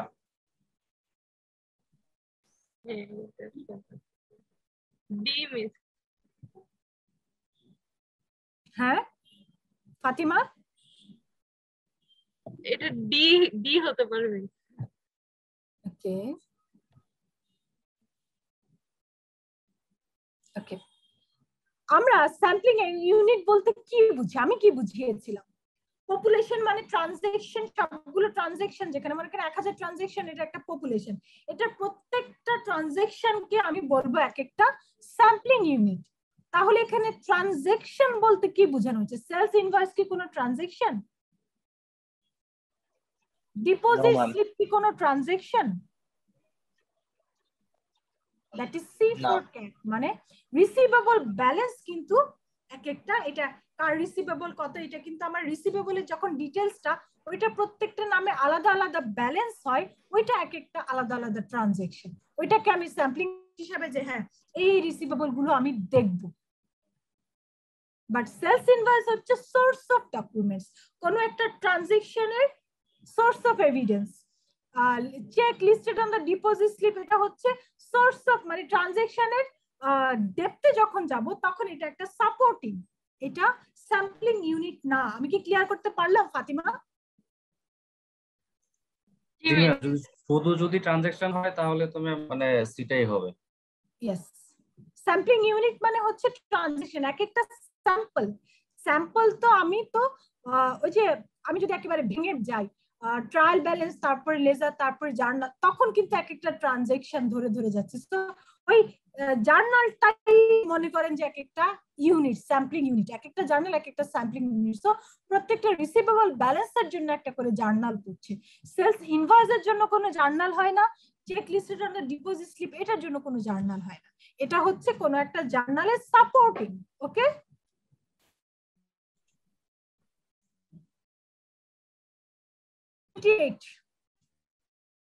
এটা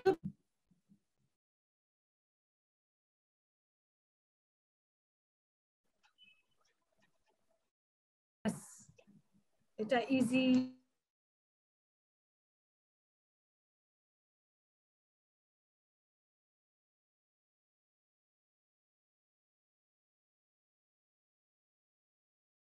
going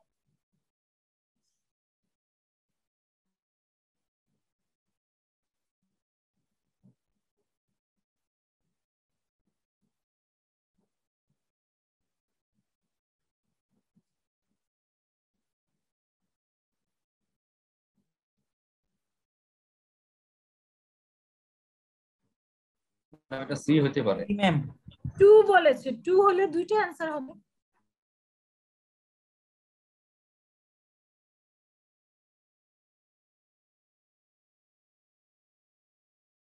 A D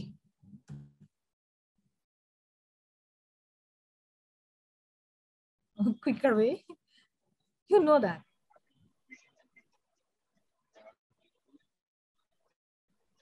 Non-current asset. Land a. Land intangible C হ্যাঁ, এটা ডেভেলপমেন্ট কষ্ট হবে? C development cost C, thirty C yes thirty one একটু আগে আমরা বোধহয় এই ধরনের একটা কিছু করে এসেছি। Interactive question right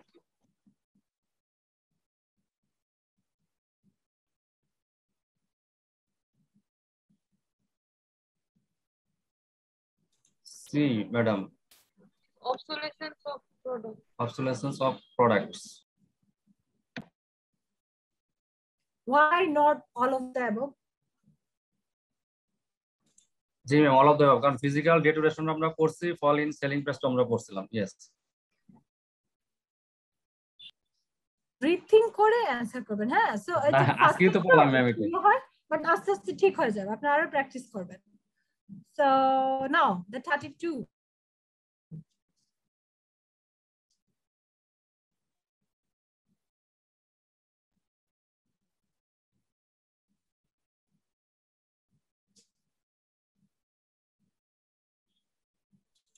madam A একটু আগে যে page number positive method yes this is A for apple একটু আগে যে পেজ নাম্বার বলেছি ওটা পড়লেই এটা কমপ্লিট হয়ে যাবে। আচ্ছা এটা 33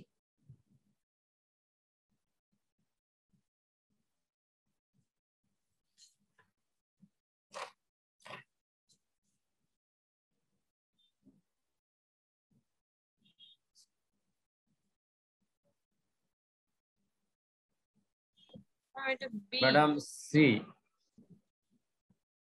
why not b for bangladesh? এটা B হবে ইয়েস কাস্টমার কিন্তু অডিটরকেই দেয়? কারণ ম্যানেজমেন্টের কাছে তো আছে সে আর কনফার্ম করবে কি? কনফার্ম করার উচিত হচ্ছে অডিটরের এবং অডিটর কি তার রেসপন্স করবে ওকে আচ্ছা আমি না থার্টি থ্রির পরে আগাবো না আজকে সময় কম। আমি দাদাকে রিকোয়েস্ট করব থার্টি থ্রির পরেরগুলা যেন আপনাদেরকে সলভ করে দেয় ওকে দাদার সাথে আমার কথা হয়েছে। সো আপনারা থার্টি ফোর থেকে ফিফটি পর্যন্ত দাদাকে আমি রিকোয়েস্ট করব কমপ্লিট করে দেওয়ার জন্য। আজকে যেহেতু আর সময় নেই, আপনাদের আজকে আরও লাস্ট ক্লাসও আমার সাথে।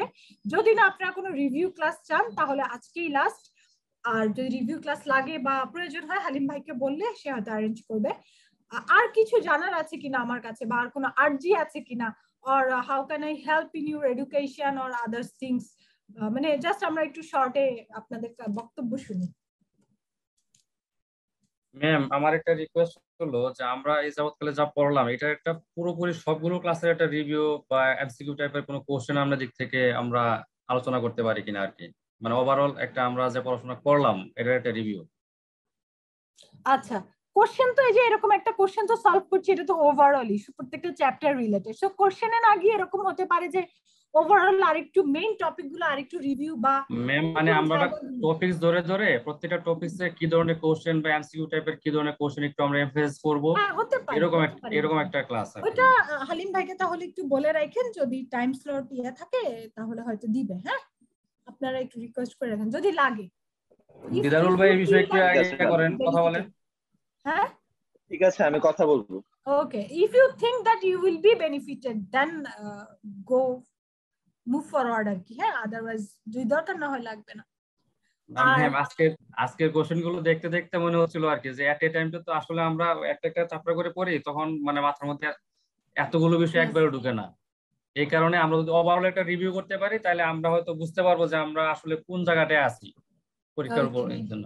ওকে যদি আপনাদের দরকার হয়, অবশ্যই আর হচ্ছে, তাহলে হালিম ভাইকে একটু বলেন, আর আপনারা একটু বাসায় পড়েন, বড় বোন বলেন বা শিক্ষক whatever the respect is request করব একটু পড়ার বিকল্প নেই। বুঝতেই তো পারছেন কত টিকি টিকি ছোট ছোট জায়গাগুলো কভার করছে রাইট সো আমরা যদি না পড়ি, আমাদের যদি বারবার রিভিউতে না থাকে, আমরা এটা অ্যান্সার করতে, আমাদের একটু হিমশিম খেতে হবে। এতটা সহজ কোশ্চেন হবে আশা করেন না। আরেকটু ক্রিটিক্যালি যাবে। কোশ্চেন করার আরও অনেক জায়গা আছে। সো ওই জায়গা থেকে আমি আপনাদেরকে দোয়া করব যেন সবাই পাশ করে যান অ্যাসুরেন্সে এবং একটু ভালো করে পড়েন ইনশাল্লাহ হবে। ওকে আর ওকে সো আমার জন্য দোয়া করবেন। যেন ভালো থাকি সুস্থ থাকি এরকম আরও আরও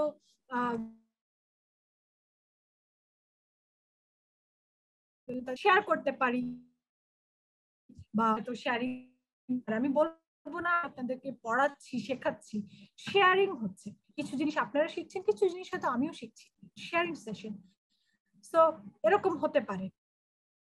শোনার বিকল্প কিচ্ছু নাই, নিজে নিজে একটু করবেন, কোথাও করার চেষ্টা করবেন। হেজিটেট করলে জীবনে পিছিয়ে যাবেন,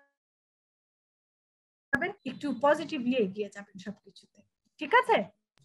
সো আমি করি দাদা থার্টি ফোর থেকে আমি নিতে বলব ওগুলো আপনাদের ক্লিয়ার হয়ে যাবে আর আমরা সবাই ভালো থাকব সব আমরা একদম কাভার করতে করে.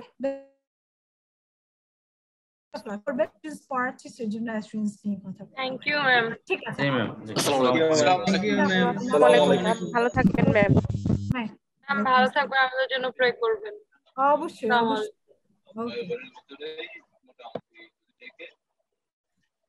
ম্যাম